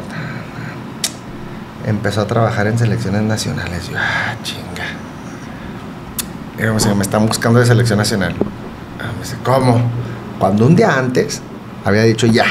Ya no quiero saber No quiero saber. Sí, me están escribiendo. Déjame le escribo. Pa, pa, pa, pa. Luego le digo. Pero todo lo que se te ofrezca, le digo, aquí está mi número de teléfono. Así lo dejé. Puse. Diez minutos me estaban marcando. Digo, bueno. ver, ah, para eso no servía mi, mi, mi- bueno, de- lo tenía en altavoz. Digo, bueno. Dice, ¿qué tal, profe? ¿Cómo estás? Este, te acabo de hablar, eh, te acabo de escribir por Instagram, soy tal persona. Mira, pues es que, ¿sabes qué? Pues acabamos de llegar a selecciones nacionales, estamos haciendo una reestructuración completa, pero el área que más nos interesa reestructurar es la de porteros. Y pues te hablo para ver si te interesa. Estaba yo con el teléfono así, y me quedé así. No se le cayó nada más. Sí, yo estaba así. Y luego volteo a ver hacia mi señora y me dice, dile que sí. Y yo, sí, sí, sí, sí, sí. ¿Qué tengo que hacer? Me dice, oye, si te digo que tienes que venir a una entrevista el sábado, una entrevista el lunes, vienes. Y digo, sí, claro, a calcar, sí, claro. No, pues órale, pues ahorita te marco. No me marcaron el sábado. El domingo dije, pues no trabajan. Dije, bueno, pues ya no me hablaron, pero pues mínimo ya me tienen la vista, ¿no? Ya me tienen la mirada. Domingo 6 de la tarde estaba sonando el teléfono. Memo, discúlpame, mira, pues es que andamos con el tema del mundial, de la sub-17, la que se fue a jugar allá a, a Brasil. Este. Pero ya, ya, ya está casi todo arreglado. Mañana tengo una junta a las 12. Yo te estoy hablando a las, saliendo de la junta luego a las 12.10, 12.15, para que te vengas una concentración el martes. Y yo, ah, cabrón, ¿cómo una concentración? Sí, sí, sí, sí, pues para verte trabajar acá y pues ver a ver, que para, para platicar. Dije, bueno, pues a ver si es cierto que me dan el lunes. Pero son de, esas, de esos momentos en los que estás muy desesperado, porque dices, te llega el pinche lunes y todo el lunes de las 9 de la mañana a las 12 del mediodía, yo estando en la fábrica, se me hicieron eternas esas 4 horas, a las 9. y- Llegaba y, puta, son las 9.20, cabrón. Y luego, pues yo sentía que hace muchas cosas, puta, 9.40, cabrón, no llegan. Y cuando llegaban a las 12, pues yo estaba así desesperado. No, sí, a las 12.10 me pa. Ya está, mañana te esperamos, te van a hablar de la federación, te van a pedir algunos datos, todo para tu viaje, esto y lo otro y aquello. Dice, acá te veo mañana. Y Pues ya te sientes logrado, dices, puta. Y pues ya, así se llegó la oportunidad. Digo, cuando menos piensas, también es algo que aprendí. Que digo, al final del día, si tú sigues haciendo bien las cosas, la vida te va a dar esos chispazos de motivación que te va a decir, espérate, güey, vas bien. O sea, eso, es- es- eso fue un chispazo de motivación para mí de decir, "Güey, pues no debes de dejar el fútbol, güey. O sea, debes de seguir trabajando, debes de seguir insistiendo, debes de seguir picando piedra a lo mejor. No sé, ya llevaba 15 años y dices, ya picar piedra ya no, pero bueno, al final del día es trabajar con disciplina, ¿sí? Mucha disciplina y este, perseverante. ¿Qué es disciplina? Todos los días, güey, todos los días, todos los días. Perseverante es sin darte por vencido de inicio a fin. Correcto. Entonces, es, eso, eso, ese trabajo que me dio a mí durante 15 días, pues fue el premio de llegar a la selección nacional, donde pues, vivimos cosas muy, muy, muy bonitas, en el cual, pues, no, pues dices, bueno, se cumplió un sueño, ¿no? Se cumplió un sueño, nos faltó por ahí el mundial, pero yo creo que todo lo demás que se vivió en selección nacional, pues, es, es excelente. Entonces, pues yo a, ya también decido ir a apostar por mis eventos, que pues es el, el Goalkeeper Experience, y yo que también es un legado, o sea, es un legado que yo tengo que dejar ante todos los chavos, ante toda la comunidad de porteros, porque hay muchos que no tienen la oportunidad de prepararse bien, ¿no? hay muchos que no tienen la oportunidad de vivir esa experiencia de trabajar como profesional, que vean una, el que vean realmente una metodología de trabajo. Pero así se llegó a selección, se llegó, dices, de la nada, no, porque hay todo un trabajo y un proceso detrás. Esa inversión que hizo en su momento, todas eh, las, las carencias que pasó, los altibajos en todos los clubes en los que estuvo, eh, todas las palabras, todo el apoyo que recibió de la familia en general. hay mucho eh, detrás. no, y yo después platicando con este directivo le dije, ¿cómo? Porque yo no lo conocía. Yo no conocía a la gente nueva. O sea, se habla mucho de que pues, por amigos llega, por recomendación yo no lo conocía y decía, yo en un momento sí me acerqué con él y digo, oye, ¿cómo se enteraron de mí? ¿Cómo llegaron a mí para que me trajeran a selección?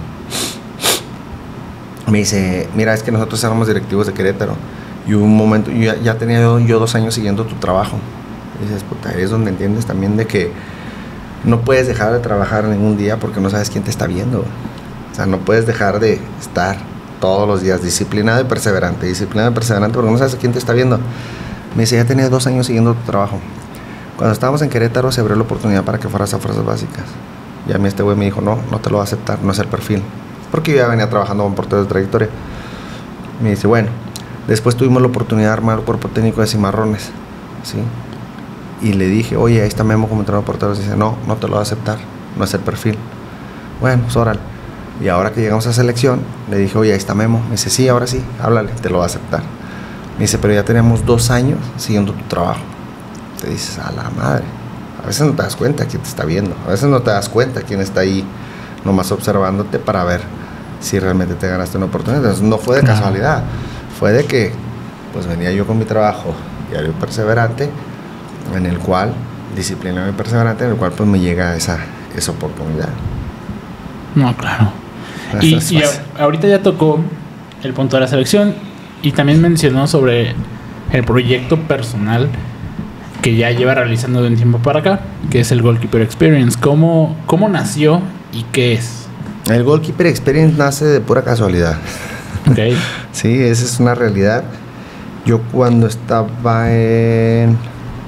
Creo que en Santos, sí, en Santos, yo recibo una llamada de una persona y me dice, oye, das clínicas para porteros. Y yo, ¡ah, madre, qué es eso! Y yo, ¿cómo? Sí, no, vienes a dar entrenamientos a porteros. Ah, sí, sí, sí, sí, sí. No sabía ni madre yo. Sí, sí, sí, sí, sí. Yo lo sé dar. No, podemos organizar una acá. Eh, fue en Veracruz. Lo sí, le digo, vamos a organizarla. Dale. Órale. ¿Con cuántos porteros puedes trabajar?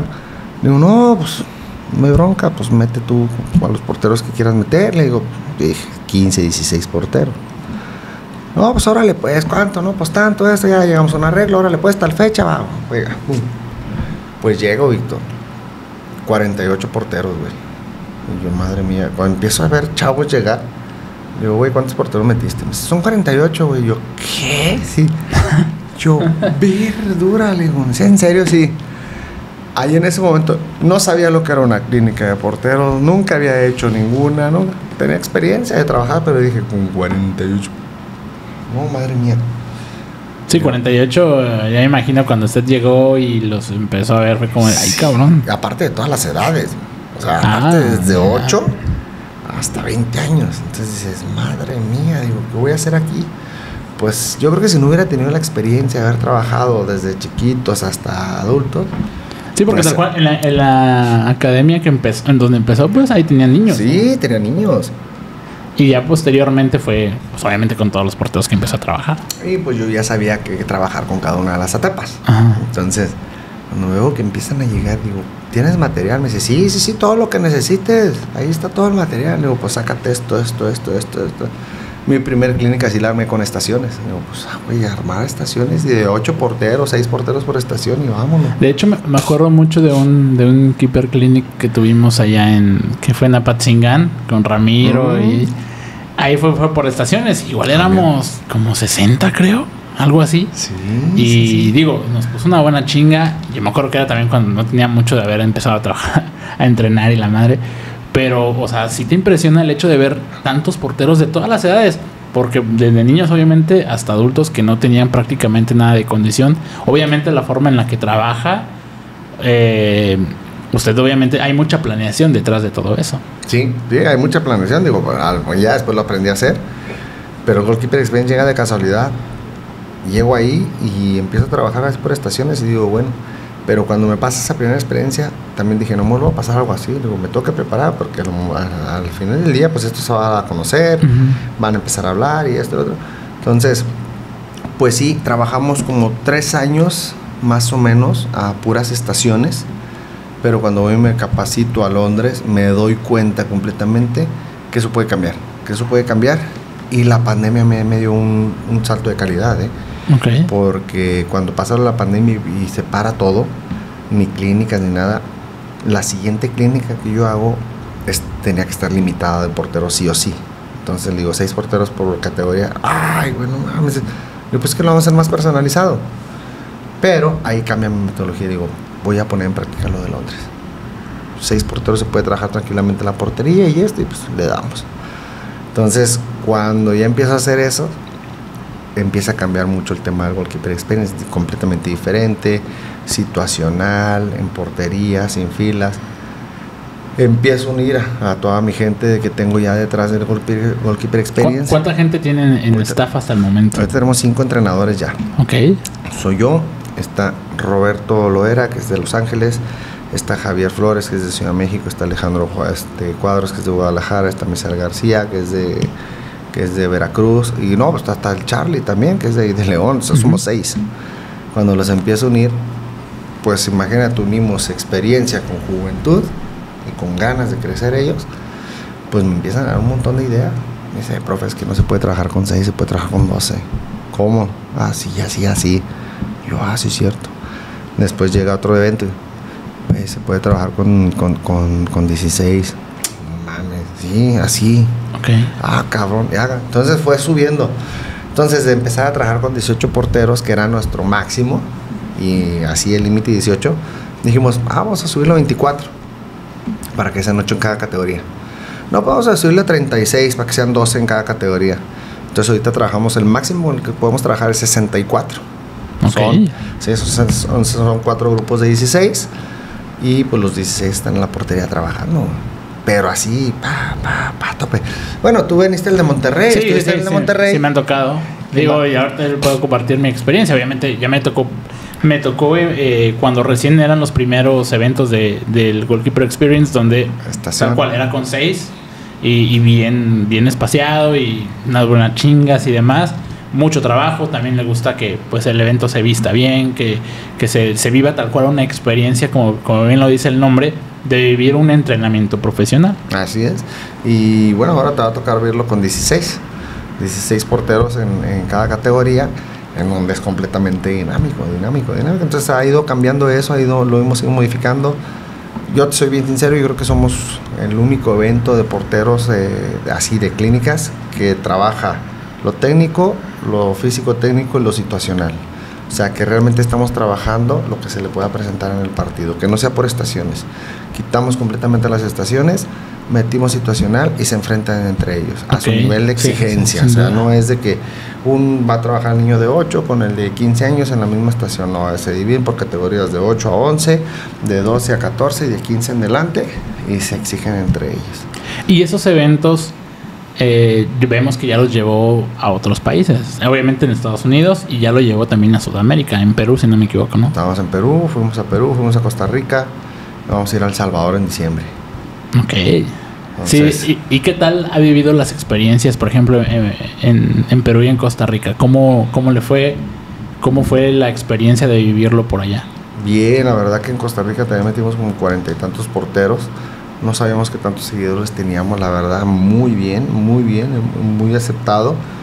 Todavía en ese entonces metíamos estaciones, pero la prueba de fuego fue en Perú. En Perú, cuando yo hablo con Robert le digo, güey, vamos a ir a Perú, este, me están pidiendo que cuánto es el máximo, les dije que 64, no creo que los metan, dije, pero bueno. Pues total, que dos, como un mes antes de que se llegar al evento ya lo tenían lleno. Y digo al organizador, ¿cuántos metiste? Me dice, los 64. Y yo, ¿qué? sí, Me acuerdo, de hecho, en esa ocasión, cuando se acercaba la fecha, Usted me dijo, eh, pues voy a ir a Perú. Ya, ya creo que por ahí me dicen que se va a llenar el evento, pero quién sabe. Yo todavía me quedé en ese quién sabe si, si lo llenaba. Pero obviamente ya después cuando vi que estaba trabajando allá y, y me di cuenta de toda la gente que estaba, dije, ay, güey, pues Se llenó más gente de lo que 60 yo me imaginé 64 porteros y dicen que se quedaron muchos fuera. Entonces a la madre. Entonces ha ido creciendo, yo creo que la bestia estaba dormida. Este, ya hoy en día no metemos menos de 48, trabajamos con 48, con 64 y ha crecido la comunidad de porteros y ha gustado el evento. Y nuestro lema siempre ha sido, trabaja como un profesional. ¿Qué es trabajar como un profesional? Que tú llegues, te hagas tu registro, se te entregue tu kit, ¿sí? que vamos a ir aumentando, cada vez aumentando también el tema del kit, ya se van a entregar dos jerseys, una jersey, un souvenir, luego más la jersey de entrenamiento, personalizadas con tus iniciales, que digas, bueno, no mames, chingón, está personalizado, tu par de watts semiprofesional, en el cual vayas a un vestidor, te cambies, estés ahí a lo mejor con tu imagen y dices, ay, bueno, mames, está chingón aquí mi, mi casillero, me visto, todo el show, salgas a una cancha de primer nivel, tengas tu hidratación, tengas la atención adecuada, que tengas servicio médico. Entonces, pues ha ido creciendo, se ha ido profesionalizando también esto, que es lo que nosotros queremos, y bueno, darles un valor agregado. Si ahorita ya no estamos metidos en el tema profesional, pero sí las relaciones que tenemos, que podemos hablar con los entrenadores y decirles, oigan, ¿saben qué?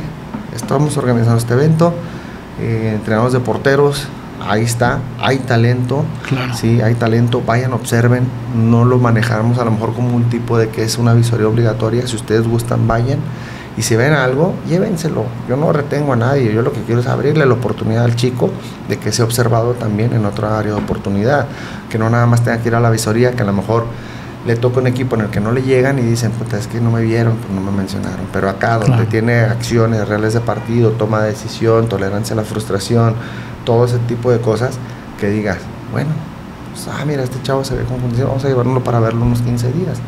Y ya empezamos a hacer también eso, es tener esa oportunidad para todos esos chicos que quieran ser Para niños y niñas, ¿no? O, bueno, hombres y mujeres. Sí, sí, sí. Porque, por ejemplo, aquí nos tocó que trae- ah, también han venido chicas en- a, a vivir esa, este evento, el Goalkeeper Experience, donde hay nivel. O sea, me acuerdo que a mí me, a mí me tocó con, con, con Aida, eh, que de hecho ya está en, en Está en selección. Ya está en selección. Al menos no me puso una chinga cualquiera. ¿eh? Estuvo muy bueno ese, ese evento, fue hace un año precisamente. En diciembre, ¿no? No, fue. Es que, es que tuvo dos. En octubre y en diciembre. En el octubre. En octubre. y Ajá. en el de, de hecho, vino a los dos. Pero en el de octubre fue donde se dio todo el pinche desmadre. Estuvo bueno. Si quieren ver la experiencia, la pueden buscar ahí en el canal. Pero obviamente, como bien lo dice el profe, ahí se vive toda la experiencia de, de un entrenamiento de primer nivel, profesional 100%, eh, hombres y mujeres. O sea, si obviamente todo está bien planificado, a los que vayan a ir al- por primera vez a un, a un evento del profe, se van a dar cuenta que todo está bien planeado y que el trabajo que se vive ahí es de completa calidad. Sí, no, la verdad que le- hemos ido haciendo muchas modificaciones, muchos cambios. Digo, lo vas a lo vas a vivir ahora en Monterrey, tenemos la siguiente semana el evento. Pero, por ejemplo, uno de nuestros colaboradores tenía casi seis meses que no iba a un evento y fue al de Puebla. Y se quedó impresionado. Dice, profe, ¿hace cuánto hicimos el de México? En febrero. Y hace un mes estuvimos en Puebla. Me dice, es que ¿cuánto tiempo hay diferencia? Dice, y esto ha cambiado un chingo. Digo, sí, cada vez va cambiando más porque van, ustedes mismos van generando más ideas. Juntamos la experiencia con las ganas, con la juventud. Y pues bueno, la experiencia dice, ¿sabes qué? Sabes que no va a dar por esto, por esto, por esto. Pero la, la, la, el- la juventud te dice, oye, hay que hacer esto, esto, mira, se puede.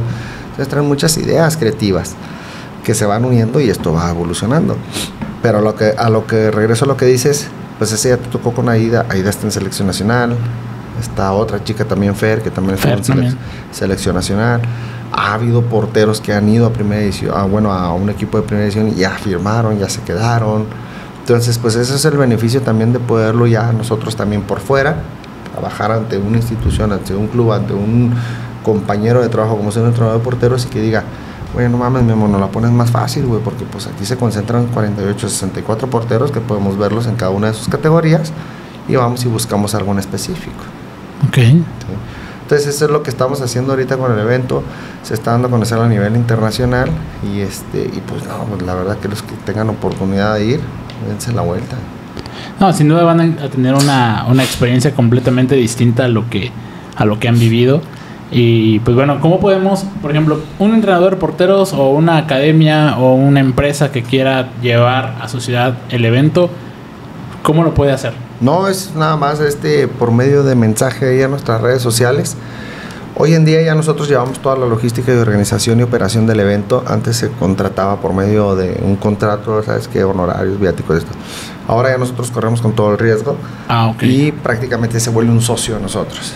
Sí, porque ya Ah, tenemos ciertas especificaciones, las cuales... Sí, pues, para poder brindar la misma calidad del evento en Monterrey, en Guadalajara, en Ciudad del Carmen, donde vaya a Es la ir, ¿no? idea que es como una franquicia. Prácticamente tú vas y comes a un restaurante de franquicia de Estados Unidos y tú comes aquí lo mismo que comes en Estados Unidos y lo mismo que comes en España, lo mismo en la misma franquicia. ¿no? Ok, muy bien. Entonces lo mismo nosotros lo que queremos hacer, ¿sabes qué? Estas son las especificaciones. Tiene que ir la misma playera, tiene que ir la misma souvenir, tiene que ir todo, todo, todo lo mismo. Para que el chavo que vino al de Monterrey y vaya al de México y dice, ah, pues es lo mismo. O sea, sí realmente me están ofreciendo lo que es. Que no sea de que, ah, es que en Monterrey me dieron esto y en México no. Entonces, la idea es esa, Ok. que el servicio sea idéntico, idéntico y que las instalaciones pues, sean de primer nivel, ¿no? De primera división, o sea, que como profesional. Regresamos al podcast después de unos minutos de, de pausa.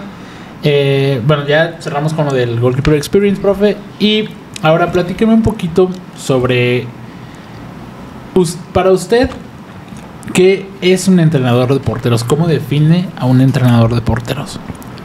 Híjole, un entrenador de porteros, yo creo que, para empezar, tiene que ser una persona apasionada por su trabajo, en el cual sepa transmitirle su conocimiento para que pueda desarrollar a un chico y le pueda ayudar a cumplir sus sueños. Es una posición bien complicada.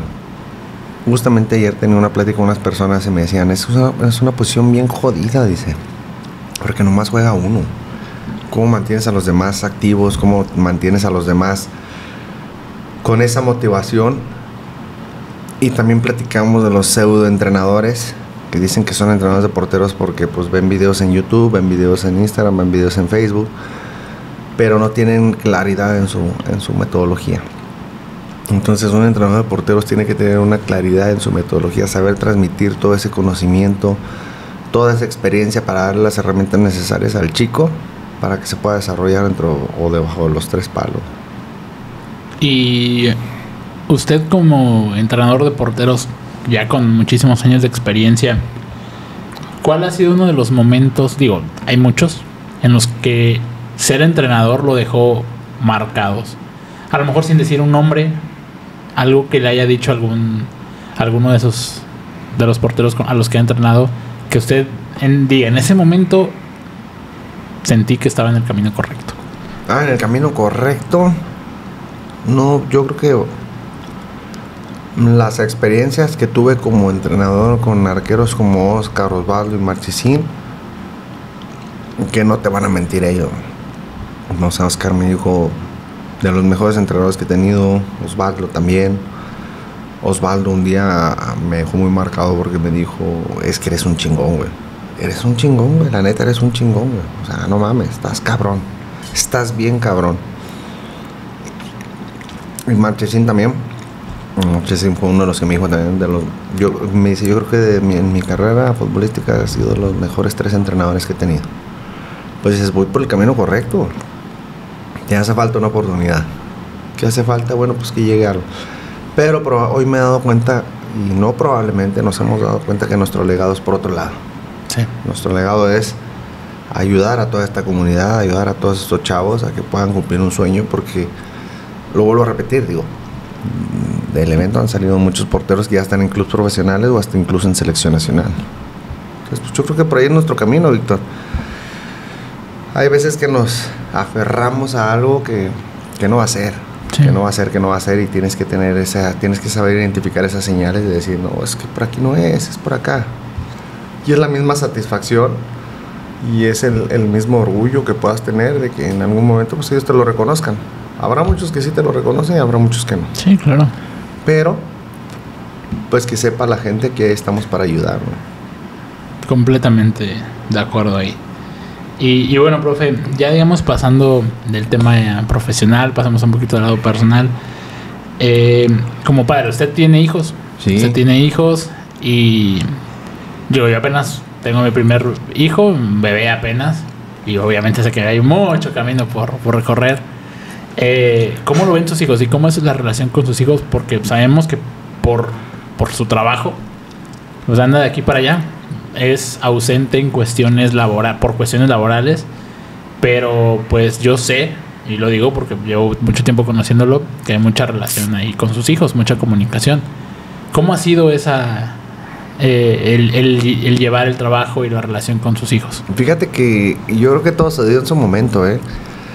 Antes de que llegara el tema de selección nacional no viajaba tanto, estaba más en un club y pues lógicamente pues mis hijos estaban más con nosotros, ¿no? estaba un poquito más tiempo con ellos y demás. Pero yo creo que se llegó en el momento adecuado el, el tema de selección porque ellos ya lo empezaron a entender. Digo, ya no, no, no son todavía muy adultos, son 8, 9 y 11 años, pero empezaron a entender el, el trabajo de papá de que se tenía que ir. Había a veces comentarios de que pues, es que no estás, es que cuándo vas a llegar, es que cuándo te vas a ir, cuántos tiempos, cuántos días. Y ellos ya empezaron a tener la noción de los tiempos. ¿Y cuántos, por cuántos días te vas hoy? No, pues sí, ¿por cuánto y cuándo vas a regresar? Y las llamadas y los mensajes de ¿cuándo regresas? y esto. Pero hoy en día ya, ya, ya lo tiene un poquito más claro que pues bueno, toda la salida es laboral y que el tiempo que estamos juntos pues lo aprovechamos al máximo. Se aprovecha al máximo porque pues sí, sí, siempre también he dicho, híjole, pues es que crecen bien rápido. Crecen súper rápido y dices, yo, yo, a veces que me impresionan mis hijos de que hacen cosas que yo no los dejé haciendo. Por ejemplo, yo, uno de mis hijos le gusta la portería, no sé por qué chingados le gusta la portería. Nunca lo he entrenado también. Él nomás ha ido a mis eventos, pero no lo he entrenado específicamente. Y de repente lo veo con una que otra acción y digo, Jesús madre, mira este güey ya. Ahí va, ahí va, ahí va, chavo, pero pues me quedé o viéndolo muy verde, va madurando. Y luego los otros, el otro es boxeador, la otra es nadadora. Y pues los ves haciendo y logrando cosas que no habías visto y dices, híjole. Pero ya ahorita ya son un poquito más conscientes del tema de que, pues, papá tiene que salir a trabajar y el poco tiempo que me puedan ver, pues me aprovechan. Claro. No, me, imagino que también para ustedes es complicado el no verlos, en perderse todo esto que acaba de mencionar. Y pero pues no hay otra, hay que salir a trabajar. No, pues, y luego después, ¿qué, van a estudiar? no, claro, pues tiene tres y yo con uno digo, apenas voy a hacer que voy empezando. No, lo que te falta, mi Víctor, no, lo que te falta, ahorita, ahorita disfrútalo, ahorita está muy padre, está recién nacido, sé por ahí porque pues tuvieron algunas complicaciones al inicio y, y, puede muchísimo ese tipo de cosas porque yo la tuve también al inicio con mis hijos, con los dos primeros. Este, pero no, hombre, ahorita estás en la gloria, cabrón. Ahorita estás en la super gloria porque no, no, no, no se batalla, deja que empiecen a crecer y te empiecen a exigir y te empiecen a pedir y te, no, impresionante. Ah, muy bien. Y pues bueno, ya, ya iremos viviendo y ya le iré platicando que cómo, cómo va la experiencia. Y bueno, profe, a ver, para usted, ya regresando un poquito también ahorita a los porteros, esta pregunta se me vino a la mente porque pues, precisamente como yo apenas soy papá, como que quiero ver o sea, de hecho es una pregunta, por ejemplo, que le hice igual a, Alex, este, porque pues él tiene sus hijas y demás. Es como de, pues yo también quiero ir preparándome para ver más o menos, o, o, sea, qué percepción tienen los invitados que ya tienen hijos de ser padre, ¿no? Pero bueno, regresando al lado de la portería, eh, hace rato lo platicábamos y le vuelvo a mencionar, lo, lo comenté, comenté con, con Alex Arredondo sobre el tema de los porteros mexicanos. Eh, sabemos que el portero mexicano es bueno. O sea, es muy bueno porque hemos tenido generaciones y hemos tenido figuras, leyendas que nos han dado un nivel tremendo. Y sabemos que el portero mexicano tiene pues una, o sea, unas capacidades que las puede llevar al máximo, a lo top. Pero él, eh, platicando con Alex, me dijo, güey, pues es que creo que ahorita en la actualidad no hay muchos porteros como tal cual para la selección. Obviamente dejamos de lado a Memo, que él ha sido el que haya venido de años ya eh, como portero titular de la selección. Incluso hasta hay memes ahí de que Memo no se va a ir a la selección nunca. Para usted, ¿qué, está pasando con los porteros mexicanos? Mira, yo creo que viene una buena camada de porteros mexicanos. Pero hoy en día yo creo que también la prensa los, los, los, los alaba, los levanta, los hace crecer de más. Sin lugar a duda, pues bueno, para mí Memo sigue siendo el mejor portero mexicano que hay ahorita. Porque pues tú lo paras en selección nacional y te resuelve todo. Si bien es cierto, pues lo critican mucho en el equipo y todo lo que quieras, pero al final del día pues te resuelve también. Hay que entender dos cosas. Hay momentos, ¿sí? Pa- eh, hay momentos en el fútbol donde puedes andar muy bien, Sí. ¿sí? Pero también hay tipos de competencia. Entonces ahorita pues se habla mucho porque es muy mediático, pues Carlitos Acevedo, no dudo que es un excelente arquero, digo, pues yo lo tuve, Sí. yo lo tuve desde chiquito, y es un excelente arquero, y para las ligas anda espectacular, y anda en muy buen momento, anda en muy buen momento, mucha gente dice, es que Carlos tuvo que haber estado en la lista final. A ver, una cosa son momentos y otra cosa es experiencia, ¿sí? Carlos ahorita tiene 100 partidos en primera división y en la liga lo está haciendo muy bien anda en muy buen momento. Pero la experiencia que tiene Memo Ochoa ante competencias internacionales, la experiencia que tiene Albert, este, eh, Talavera Tala. ante competencias internacionales, la experiencia que tiene Cota ya con competencias internacionales, entonces pues es muy diferente a lo que está haciendo ahorita Carlitos. Carlitos, sin lugar a duda, yo creo que va a ser el próximo portero titular de la selección nacional Sí. pero necesita generar esa experiencia, necesita generar ese, ro- ese roce internacional, que se lo va a ir dando poco a poco, que pues en los siguientes llamados a selección nacional.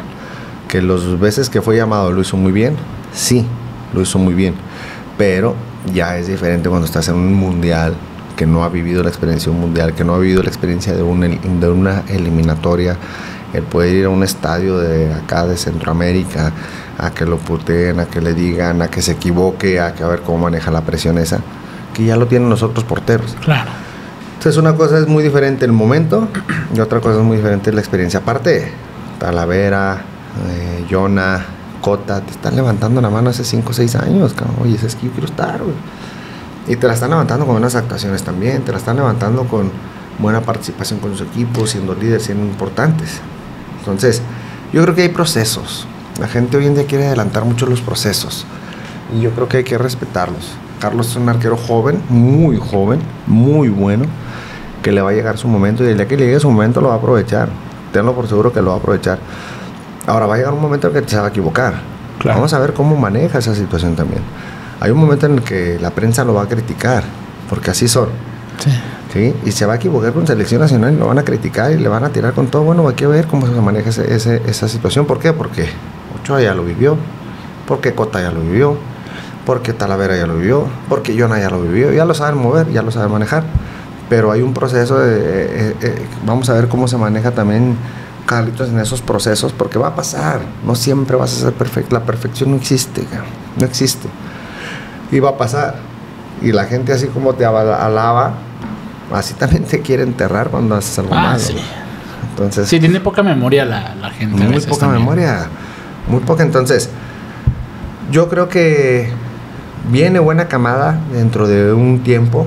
Porque pues si vienen empujando bien los Acevedo, vienen empujando bien Malagón, vienen empujando bien eh, Jurado, sí. Este, ahí vienen, ahí vienen algunos porteros que vienen empujando. Pero sin lugar a dudas yo creo que todavía tenemos mucho que dar. ¿eh? Tenemos, yo creo que tenemos mucha calidad donde sacar, mucha tela donde cortar desde fuerzas básicas para volver a ser un país que no batalle por porteros. O sea, yo creo que debimos de haber tenido en este mundial arqueros ya más jóvenes también. Digo, Memo sin duda el titular. Sabemos, sabemos que- pero que abajo vinieran ya Sí, porteros. incluso que lo pusieran un poquito más a duda, ¿no? O sea, decir, porque, digo, y con todo el respeto que, que merecen los otros porteros, pero sabemos que Memo va a ser el titular en el mundial. Ah, sea, no, sí. Sí, no, no, no. pues es el que se llega y se para y muestra esa personalidad, ese carácter. Pero yo creo que ya debe haber porteros que lo tienen que estar apretando. O sea, antes, pues, ¿qué era? El conejo, era Campos. Antes había mucha diferencia entre Campos, el conejo, pero después entre el conejo estaba Osvaldo eh, apretando. Entonces hubo también esa Corona. Hubo esa competencia muy buena entre Sí. los porteros. Que decías, puta, ¿quién irá? ¿Quién irá a jugar? ¿Quién será el titular en esta vez en el mundial? Yo me acuerdo perfectamente Incluso, que. por ejemplo, en Alemania 2006, que sabíamos que iba a jugar Osvaldo, Ochoa más o menos traía el, el punch que hoy, por ejemplo, lo trae Acevedo. Exactamente. De decir, ah, ya metan a Ochoa, ¿por qué no meten a Ochoa? Cuando sabíamos que Osvaldo era el que iba a jugar y el que traía toda la personalidad y, y- y todo el nivel para poder jugar. Así, a ver, no te la pongo tampoco tan lejos. En Sudáfrica, ¿quién se iba a imaginar que el que conejo, iba a conejo ser- iba a terminar. O sea, todo el mundo veía a Corona, a Osvaldo, Ochoa. a Ochoa de titular. Y el conejo terminó siendo titular. Entonces son procesos. Digo, al final del día les va a tocar. Y mira, no le tocó tampoco a Ochoa en Sudáfrica, no le tocó a Ochoa este, en Alemania. Pero mira todo lo que le empezó a tocar y lo tenía que vivir. claro. Y tú crees que toda la gente dice, no, es que tiene que ser Ochoa, no, es que tiene que ser Osvaldo, no, es que. Digo, al final al cabo, a veces la, la gente eh, que no vive y que no sabe cómo es el, el fútbol profesional y todo lo que hay detrás de, de que poner a, a alguien a jugar, o sea, sí se nos hace muy fácil criticar. Se nos hace muy fácil decir, ah, este güey que no, no juega nada o, o este, este portero que no, no ataja, no sé qué, ¿por qué lo siguen llevando? O sea, la gente nos gusta criticar de más. Aunque sabemos también que esta es la selección que más han criticado. Sí, O sí, esta sí, generación. Sí. Pero mira, es, es- es una realidad lo que dices. La gente no tiene idea de cómo es una competencia ah, internacional. Porque estamos viendo nuestra liga. Estamos viendo nuestra liga, nada más nuestra liga. Pero el nivel de la liga es muy diferente al nivel de la competencia internacional. Y yo lo entendí ahora que estuve en selección. Porque yo era de la misma idea, ¿eh? Yo era de la misma idea. Oye, pues este anda re bien, ¿por qué no lo llevan? Pero cuando empecé a tener viajes con selección, cuando empecé a ver la competencia, cuando empecé a ver la exigencia y el nivel, dije, ah, cabrón, pues esto es muy diferente. Sí. Esto no es el fútbol local. O sea, esto ya te enfrentas, uno, con jugadores que ya tienen mucha, mucha experiencia, mucha trayectoria. Te enfrentas a otros físicos. Porque dices, yo veía porteros más bajitos, yo era la idea que no estaba peleado con la estatura, pero cuando veo el fútbol internacional digo, no, es que sí tiene que ver la estatura porque el portero ya no se va a enfrentar a, por- jugadores de unos 70, se enfrenta a jugadores de unos 90 y si lleva un portero de unos 70, puta, pues no ve el centro, no ve por dónde viene la pelota, si es un, un- un tiro de castigo, un tiro libre o una falta, balón parado, pues puta, no va a salir porque los ven torresotes. Pero a lo mejor ese portero de unos 70 le alcanza para la liga, pero para una competencia internacional no. Claro. Entonces, esa es la diferencia, que tenemos que diferenciar entre momento y experiencia. La experiencia está dada y está garantizada con Memo Ochoa, con Talavera y con Cota, pero anda en un gran momento. ¿Quién anda en un gran momento? Carlos, anda en un gran momento, Malagón, anda. Pero les va a tocar. Les va a tocar tarde temprano porque Memo ya no llega al siguiente mundial. Sí, no. Ahora, no llega si ellos lo dejan, ¿eh? Porque hay una gran Ah, sí. diferencia. Ah, exacto. ¿Sí? Sí, porque Memo puede llegar. Sí. O sea, el conejo llegó 42 años. exactamente. Y Ochoa para esa edad, para ese mundial que viene, tendría que 41. 43, creo, 40 Sí, porque creo que ahorita tiene 37. 38, ¿no? 38. Por ahí, pero pues, 42 años 42 llegó años. Conejo a 42 años al Mundial, 40 años. Exactamente. Pero llega si ellos lo dejan, Ajá. si ellos ya no aprietan, si ellos se, se acomodan, si ellos dicen, ah, pues ahí me la llevo en la liga, pues aquí aguanto tranquilamente, pero cuando les llega la oportunidad de una convocatoria, un torneo o algo, si ellos no demuestran, pues va a seguir llegando Memo. Porque Sí, Memo va a llegar hasta donde lo dejen los porteros que están ahorita jóvenes. Completamente de acuerdo. Sí, yo, te- yo, yo- yo tenía una plática, una entrevista con Edgar Hernández, el portero del, del Necaxa, Necaxa. y le decía, Edgar, ¿cuál es el secreto güey, de durar tantos años en primera edición? Edgar Hernández es un, es un crack. Está cabrón. Y me dice, Memo, yo sigo aquí en primera edición porque los chavos me dejan, güey. Porque esos güeyes no han apretado para que yo me salga. Sí. El momento en el que ellos aprieten y ellos demuestren que quieren estar en mi lugar, ahí me voy a tener que hacer un lado. Pero yo sigo aquí porque ellos me dejan. Y me quedé pensando, dije, sí es cierto. Toda la razón. Sí, es cierto, o sea, tienes toda la razón. ¿no? Sí, una cosa es que sí se cuida güey, se, se, se ve al gimnasio, entrena a tope y todo. Pero ¿por qué sigue estando ahí? Porque no hay alguien que lo esté apretando al final del día. Entonces, si Memo sigue teniendo a alguien que no lo apriete, pues va a llegar al siguiente mundial. Y la gente va a decir esto y lo otro. Bueno, pues es que no me están apretando, güey, pues yo sigo cómodo. Aquí voy a seguir hasta donde ellos lo permitan. No, de acuerdo. Ah, sí, totalmente. Entonces, pues bueno, yo sé que va a llegar el momento de los chavos que vienen apretando atrás. Ojalá y que lo sigan llevando así, o sea, porque al fin y al cabo generas una competencia interna bien bonita. Y es muy. y- y- y- Ha de ser bien chingón tener una selección como Brasil, por ejemplo, que tiene una baraja de, de opciones muchos Interminable. jugadores. Sí, sí, sí, no, pues esa es la idea, digo. Este, hay mucho que trabajar, yo, todo, yo creo que todavía hay mucho que trabajar en, en- en instituciones, en selecciones, para poder hacer crecer el fútbol mexicano. Justamente ayer yo decía, ayer tenía una plática y decíamos, ¿cuántos mundiales tenemos cabrón, sin pasar al quinto partido? ¿Cuántos Pues mundiales? desde México 86. Fíjate, ¿cuántos años son? Ya prácticamente 30 años. Así. Entonces, casi 30 años donde ya no hemos pasado al quinto partido. En donde dices, a ver, ¿ha evolucionado o no ha evolucionado el fútbol mexicano? No sabemos. A lo mejor si nos guiamos por eso decimos, no. Pero aparte dices, puta, Estados Unidos ya pasó al quinto partido. Costa Rica ya jugó una semifinal. Y dices, a la madre, ¿qué está pasando? Sí, sí, sí. Entonces, pues sí, sí, sí, hace falta ahí eh, hacer algunos, algunos ajustes. Sin lugar a dudas, no dudo tampoco que tenemos muchísima calidad en el fútbol mexicano, pero bueno, vamos a, vamos a darle todo el voto de confianza de que este mundial nos va a ir y vamos a llegar. Esperamos que tengamos. Que, nos- que esta selección que, en la que no muchas personas creen. Que ojalá también no- que nos sorprenda. Que sea grata que diga, ay, güey, pues no esperábamos nada de estos güeyes y llegaron lejos, ¿no? Sí, no, no, no, y, y calidad hay, ¿eh? Ah, no, sí. Calidad hay, calidad hay. Este, y ya sabes que México se agranda en los mundiales, así que, Ojalá que así siga siendo. sí. Pero bueno, profe, entonces ya casi para terminar la plática, vamos con, con preguntas un poquito más rápidas. Eh, ¿Qué le gusta a Memo Velázquez? Sí, eh, ya dejando de lado el fútbol, un día libre. ¿Qué suele hacer Memo Velázquez? Un asado. Sí, sabemos que, que justamente eso es lo que iba a decir. Eh, si lo siguen en redes sociales, se van a dar cuenta que el profe, cuando tiene oportunidad, se avienta unos buenos asados. A mí ya me tocó formar parte de, de ahí, de, de su sazón. ¿Y, y por, qué- por qué tiene el gusto por, por los asados? ¿Cómo, ¿Cómo llegó el gusto? Mm, Pues yo creo que desde siempre, desde el fútbol, de que sí, desde que empezábamos a armar los asaditos y me- me- soy carnívoro a morir. Pero hasta cursos tomé para hacer asados, ¿eh? ¿Ah, Hasta sí? cursos, sí, sí, sí, sí, me metí de lleno, me empezó a gustar eso. Me hice muy buen amigo de, de en Torreón, del dueño del Pampas. Y ahí yo lo empecé a ver, lo empecé a ver y le empecé a preguntar y todo. Y veía cómo asaba, cómo llevaba todo el ritual y todo. Y me encantó y dije, no, de aquí soy. Y si tengo tiempo libre, es agarro a mi chavo, nos vamos a la alberca de la casa del club, prendo el asador y un buen asado.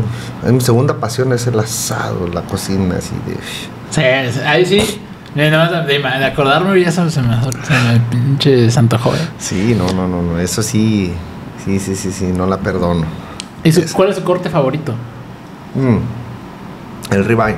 El, El ribeye ribeye. y el tomahawk. El ribeye y el tomahawk. El tomahawk lo aprendí a hacer, es un corte muy delicado. Que si no lo sabes llevar bien, se te seca del medio por querer cosar de más el hueso. Y, y si quieres que se cosa bien lo del hueso o que no lo sabes llevar a las temperaturas, pues se te seca el centro. Y no, es muy complicado el tomahawk. Pero el ribeye, sin lugar a duda, y la picaña. La picaña también. ¿Y cu- cuál es el que queda mejor? O sea, el que Para la mí el gente más le, le, le chulea. El ribeye. ¿El ribeye? El ribeye, sí, el ribeye, el ribeye. De pulgada. Así de pulgadón, al asador, papá. Así que vamos a hacer uno aquí en Monterrey ya la próxima semana. No le va, ya quedó. Eh, y a ver, en cuanto a la bebida que le gusta degustar en su tiempo libre. En mis tiempos libres yo soy ronero de corazón. Así que toda la gente que me va a hacer un regalo y me va a hacer un buen regalo ahí con un roncito, el ron. El ron, yo soy muy ronero. Me gusta mucho el ron. Este. Ahora que estuvimos ahí en, en República Dominicana, compré un ron que me encantó, que es el 1888, el Brugal. Es delicioso ese roncito y eso es lo que me gusta de gustar, el roncito. Roncito. Soy ronero. Música. De toda, ¿eh? De Sí. toda. Soy súper universal. Antes era más así de música de banda y todo eso, pero no, como que me fue perdiendo. No, no, sí me gusta, sí lo escucho, pero yo creo que ahora de toda, porque eh, sabes qué? que ahora en los eventos ponemos música para entrenar y ponemos música más movidona, más americana, pop americano, ¿no? entonces, pero de toda. Ok. Ah, sí te puedo escuchar de toda. Eh, películas, series. ¿Hay alguna que le guste? Que No veo. ¿No? No veo televisión. No le da el tiempo. No veo, no me da tiempo de ver televisión, no me da tiempo de ver series, no me da Si apenas me da tiempo de contestar mis mensajes. Sí, sí, sí, sí, a veces. Yo, por ejemplo, a veces cuando me preguntan, eh, güey, alguna serie, alguna película. Muy No poco. Yo, bueno, yo a veces sí me doy el tiempo para verlo con mi esposa o así. Pero, ay, güey, no. Una vez no. los chavos. No, eso sí, no, no, no nos damos tiempo de ver televisión porque, pues, también hay mucha responsabilidad. Cuando estoy en la casa, realmente, pues, hay que llevar a los niños a sus actividades, hay que llevarlo a esto, lo otro. Pero no, no, no. Así que mi serie favorita, la última que vi fue la, hoja- la, la Casa de Papel. Y me quedé en la segunda temporada. No. no vi las demás. Oye, y por ejemplo también, en cuestiones, ¿le, le gusta coleccionar algo? ¿Colecciona algo? ¿Tiene algún hobby? No, nada. Porque por decir, yo sí, a veces me gusta guardar ciertas cosas de lo que yo hago. Por decir, a veces tengo algunos guantes que me han firmado, que yo atesoro bastante bien. Eh, algunos, algunas jerseys del- de, algunos eventos. Por ejemplo, ahí tengo el del, del, del Congreso, eh, cuando lo conocí. Tengo el del primer Goalkeeper Experience también al que fui. Ahí los tengo bien guardaditos para que un día mi chavo cuando crezca vea, ah, no mames, todo esto lo hizo mi jefe. Eso, digo, eso en lo personal a mí me gusta coleccionar ese tipo de cosas. Yo no colecciono nada, nada. Yo fui de, antes sí coleccionaba y guardaba muchas cosas, pero fui una persona que me fui desapegando de muchas cosas también. Ok. Conforme fui cambiando de ciudades y que sabía que tenía que cargar con todo, dije, no, hombre, que estoy guardando ya, no. Cada vez que me cambio voy a llevar más y más y más y más cajas. ¿Y dónde van a caber en la casa y esto? Sí, las mudanzas me, de- me desapegué completamente de todo eso. Entonces, no, no, no colecciono nada. Sí tengo guantes, tengo guantes. Lógicamente tengo guantes. Algo que yo creo que cuido muchísimo es, tengo un par de guantes firmados por Oscar El Conejo Pérez, tengo un par de guantes firmados por Marchesín y otros por Osvaldo Sánchez, que han sido los porteros. Y bueno, de Oscar Jiménez. Eso sí los tengo super Se, guardados. se lleva muy bien con Oscar Jiménez, ¿verdad? Sí. Y ese sí, ese, ese sí dicen que es mi, mi hijazo. Mm. Pero yo creo que si algo guardo es eso, ¿eh? esos guantes sí los tengo. Probablemente no los conoce la gente, no los tenemos publicados ahí en redes y todo, pero el guante... y- ¿Algún día los va a mostrar? Sí, algún día los voy a mostrar. Sí, y todos están dedicados de Para ellos para Memo. Gracias por todo, de la chingada y esto y lo otro, pero eso es lo que tengo yo coleccionado. Excelente, profe. No. Y también, eh, ¿usted qué, qué red social es su favorita de todas las que utiliza? La Facebook. Facebook. Facebook. Yo ¿A poco? Facebook- Yo pensé que iba a ser Instagram, fíjese. No, Facebook es la que más la que más manejamos, es donde estamos más fuertes, con nuestros 200 mil seguidores. Y este y ahí es donde subimos mucho contenido ahora. Facebook, Facebook es la que más manejamos, la, es la favorita. Ah, mire, yo pensé que iba a decir, ah, Instagram. No, no, no. Hemos batallado mucho con eso. ¿Ah, sí? ¿Por qué? Pues ahí nos hemos quedado estancadillos de repente, pero este, siento que nos sigue muchísima gente de Facebook y todo el trabajo que nos sale es de Facebook. No, qué, qué bueno, no, digo, eh, obviamente hay, hay personas a las que nos funcionan más otras redes que, que a otros. Y Sí. pues al fin y al cabo tú terminas como, como decantándote por un, por un lado, ¿no? Sí. Y por ejemplo, en lo personal, yo creo que con todas tengo un cariño especial. O sea, si yo me voy del lado de YouTube, siempre eh, ahí me ha gustado mucho el formato de YouTube, el formato de video, video un poquito más largo, los blogs y demás. En Instagram, compartir como los momentos o fotos más preciadas de ciertos momentos, las historias del día a día. En Facebook, las noticias, los memes. Los memes, ¿verdad? Se maneja mucho. No he subido Sí. yo memes, me han dicho que suba memes, pero. Pero es que también es otro tipo de contenido que se sube. Sí, pues Y es que más de usted- valor. Sí, claro. Es más de valor, es más sí, de entrenador y como que subir memes. Sí. Yo ahí, por ejemplo, en Facebook es donde tengo más como mm, más di- diversificación. Porque aparte de las noticias, porque subo noticias de todos los días, hay memes. Eh, ahorita ya estoy empezando a poner los clips del podcast, algunos videos que hago como de TikTok, que también ahí abarco. Eh, y pues obviamente también tenemos más contenido que poco a poco iremos compartiendo con la gente, ¿no? Así es, no, Pero pues bueno. cada quien tiene los, sus, sus redes favoritas. Pues así es, profe. Bueno, pues, eh, ¿tiene también algún ídolo o algún alguien que usted admire bastante? Sea o no del fútbol, ¿eh? Un ídolo. O alguien que, ah, yo sigo mucho, me agrada bastante. Por, por ejemplo, a mí, en música, en lo personal, a mí me gusta mucho Pedro Infante. Por ejemplo, en cuestiones de, música de Pedro Infante, me gusta eh, en México. Pero me gusta mucho Guns N' Roses, Panda. O sea, como que tengo. Hay muchas personas que yo le seguí en el. O artistas que le he seguido su carrera. Que yo digo, güey, pues la neta, si quiero. O sea, sí, sí profundizo en su contenido, ¿no? O creadores de contenido también. Por ejemplo, este podcast yo me inspiré mucho en lo que hace Roberto Martínez, que hoy en día ahí Me gusta, yo, yo consumo mucha comedia también aquí y he aprendido bastante gracias a todo ese contenido que yo consumo a centralizarlo en, en lo que yo hago. ¿no? Fíjate que no, eh, no, no, no, no. Ahorita me estaba poniendo a pensar a ver a quién sigo, a quién admiro. Es que es muy ¿No? poco el tiempo, Víctor, la verdad. No, no, yo lo sé. Digo, y estos que yo ya le acabo de decir han sido en ciertos momentos de mi vida. Ajá. O sea, por ejemplo, los grupos y, No, y y sí. lo mencioné es hace, hace 10 años y así. Si, si hablo de cier, de hace tiempo, al que sí fue mi idolazo y usaba hasta sus uniformes era de Jorge Campos cuando ¿Ah, empezaba. sí? Sí, gacho. Gacho, gacho. Yo tenía estos uniformes de Jorge Campos y los utilizaba en los juegos y, y para mí fue de- una figura a seguir, pero bien cabrona. Pero a partir de ahí, pues no, no, no, no fue así. En algún momento, pues sí, antes era, pues cuando jugaba Osvaldo Sánchez y el Conejo Pérez, nunca me imaginé que los iba a entrenar, güey. Nah. Eran seguidores míos, o sea, yo así, no mames, Ay, el Conejo. Ah, sí, ha sido cabrón. Y yo, Osvaldo, y era, pues siempre fueron tus ídolos de chavo. Sí. Y después digo, no mames, después de trabajar con ellos, dices, no, las vueltas que da la vida, cabrón. A mí, a mí me pasó algo muy similar con todo lo que he hecho aquí en Porteros TV. Yo, por ejemplo, pues igual, cuando platiqué con el conejo y después lo vi en persona, nos vimos aquí en Monterrey una vez que vino con el Cruz Azul. Y tengo por ahí también unos guantes que me firmó. Yo dije, güey, pues yo nunca me hubiera imaginado. O sea, de niño yo lo vi en la tele. Mi papá me decía, mira, este es uno de los mejores porteros de México. Y está bien chaparrito. Pero ve el resorte que tiene. No, sí, tapa bien cabrón. Y quién iba a decirle a ese Víctor de nueve años que Unos- estar entrevistando unos años después y va a estar platicando. Me siguen en Instagram, me siguen en Instagram. Gracias, conejo, por seguirme. y este y me dice, ah, sí, he visto lo que, lo que luego publicas. Y por ejemplo, a veces he visto que, que Malagón, que Acevedo votan en mis historias o cosas así. Digo, ay, güey, está, está chingón. O sea, está, está muy padre de ver que pues el trabajo que uno hace también pues lo siguen eh, los porteros o la gente que tú admiras. Porque al fin y al cabo terminan siendo seres humanos también. Claro. Eh, que como cualquiera de nosotros, pues se divierte, hace, consume Tiene vida contenido, privada. tiene su vida privada, Tienen exactamente. su vida privada y ellos también hacen cosas que nosotros hacemos. digo.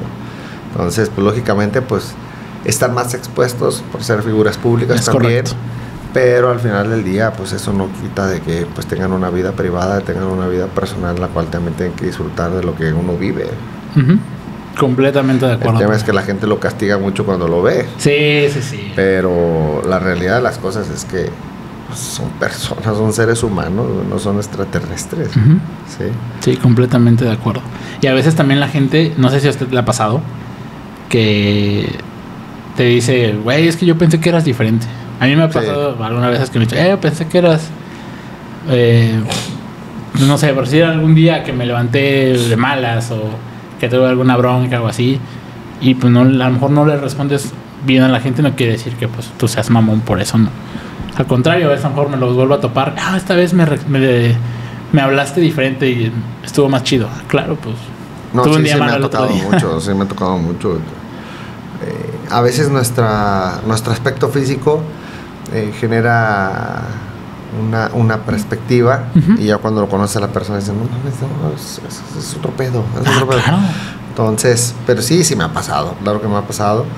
Pero bueno, también tenemos, hemos tenido mucha este, suerte en interactuar con, en nuestras redes sociales con la gente y bueno, pues ahí nos va conociendo. Digo, al final cuando nos ven en un evento, estamos abiertos a todo y no somos de la gente que no, no, no, espérate, esto, nos agrandamos. No, digo, que yo sepa, al momento pues no. Sí, eso sí. Entonces, pues, y así como me invitas tú, me invita mucha gente, cuando se puede, se puede, cuando no se puede, pues se les dice, sabes que no puedo, tengo Claro. muchos compromisos, pero, pero no tratamos de, de, de- de ser empático con todo el mundo. Completamente de acuerdo. Pues bueno, profe, con esto damos por, por terminado el podcast de- del día de hoy. Fueron un poquito más de dos horas de conversación. Hacemos un chorro, ¿no? Sí, más, sí. De, da más de mi historia, pero bueno, espero que la próxima semana podamos hacer algo más, Sí, más claro. padrote ahí, más fuerte, más rudo. Claro. Ah, hay- obviamente hay muchos temas por ahí que quisiéramos personal y hasta podemos involucrar un poquito a la gente que nos manda a lo mejor ciertas preguntas con Sí, toda la confianza sí, sí, sí. Y, y platicar a todo dar, ¿no? Sí, sí, sí. Eh, profe, compártenos sus redes sociales, ¿cómo lo podemos encontrar? En todas mis redes sociales, Facebook, bueno, Facebook y YouTube, entrenador de arqueros Memo Velázquez y en Instagram EA de entrenador de arqueros, pero es las puras iniciales EA Memo Velázquez. El Goalkeeper Experience. Así, Goalkeeper Experience, así, Goalkeeper de, de en inglés, En in- Experience en- todo en inglés. Ok, ¿y en, en Instagram nada más? Ajá, nada más está en Instagram, ese Goalkeeper Experience, ahí estado pegando muy bien y ahí es donde vamos a conocer todo el tema. No, hemos, no, no, hemos- no tenemos la, la, de, la de Facebook porque la comparto yo desde mis redes. Ok. ¿Tiene página web? Eh, www.eamemovelazquez.com Perfecto, profe. Bueno, pues entonces ahí para que vayan a seguir al, al profe Memo Velázquez si no lo hacen, que yo espero que ya lo hagan. Y bueno, sin más, nos vemos en el próximo episodio. Chao. Listo. No me pusiste en aplausos ni nada, güey. Todavía estamos a tiempo. Le ponemos sus aplausos al profe. Eso.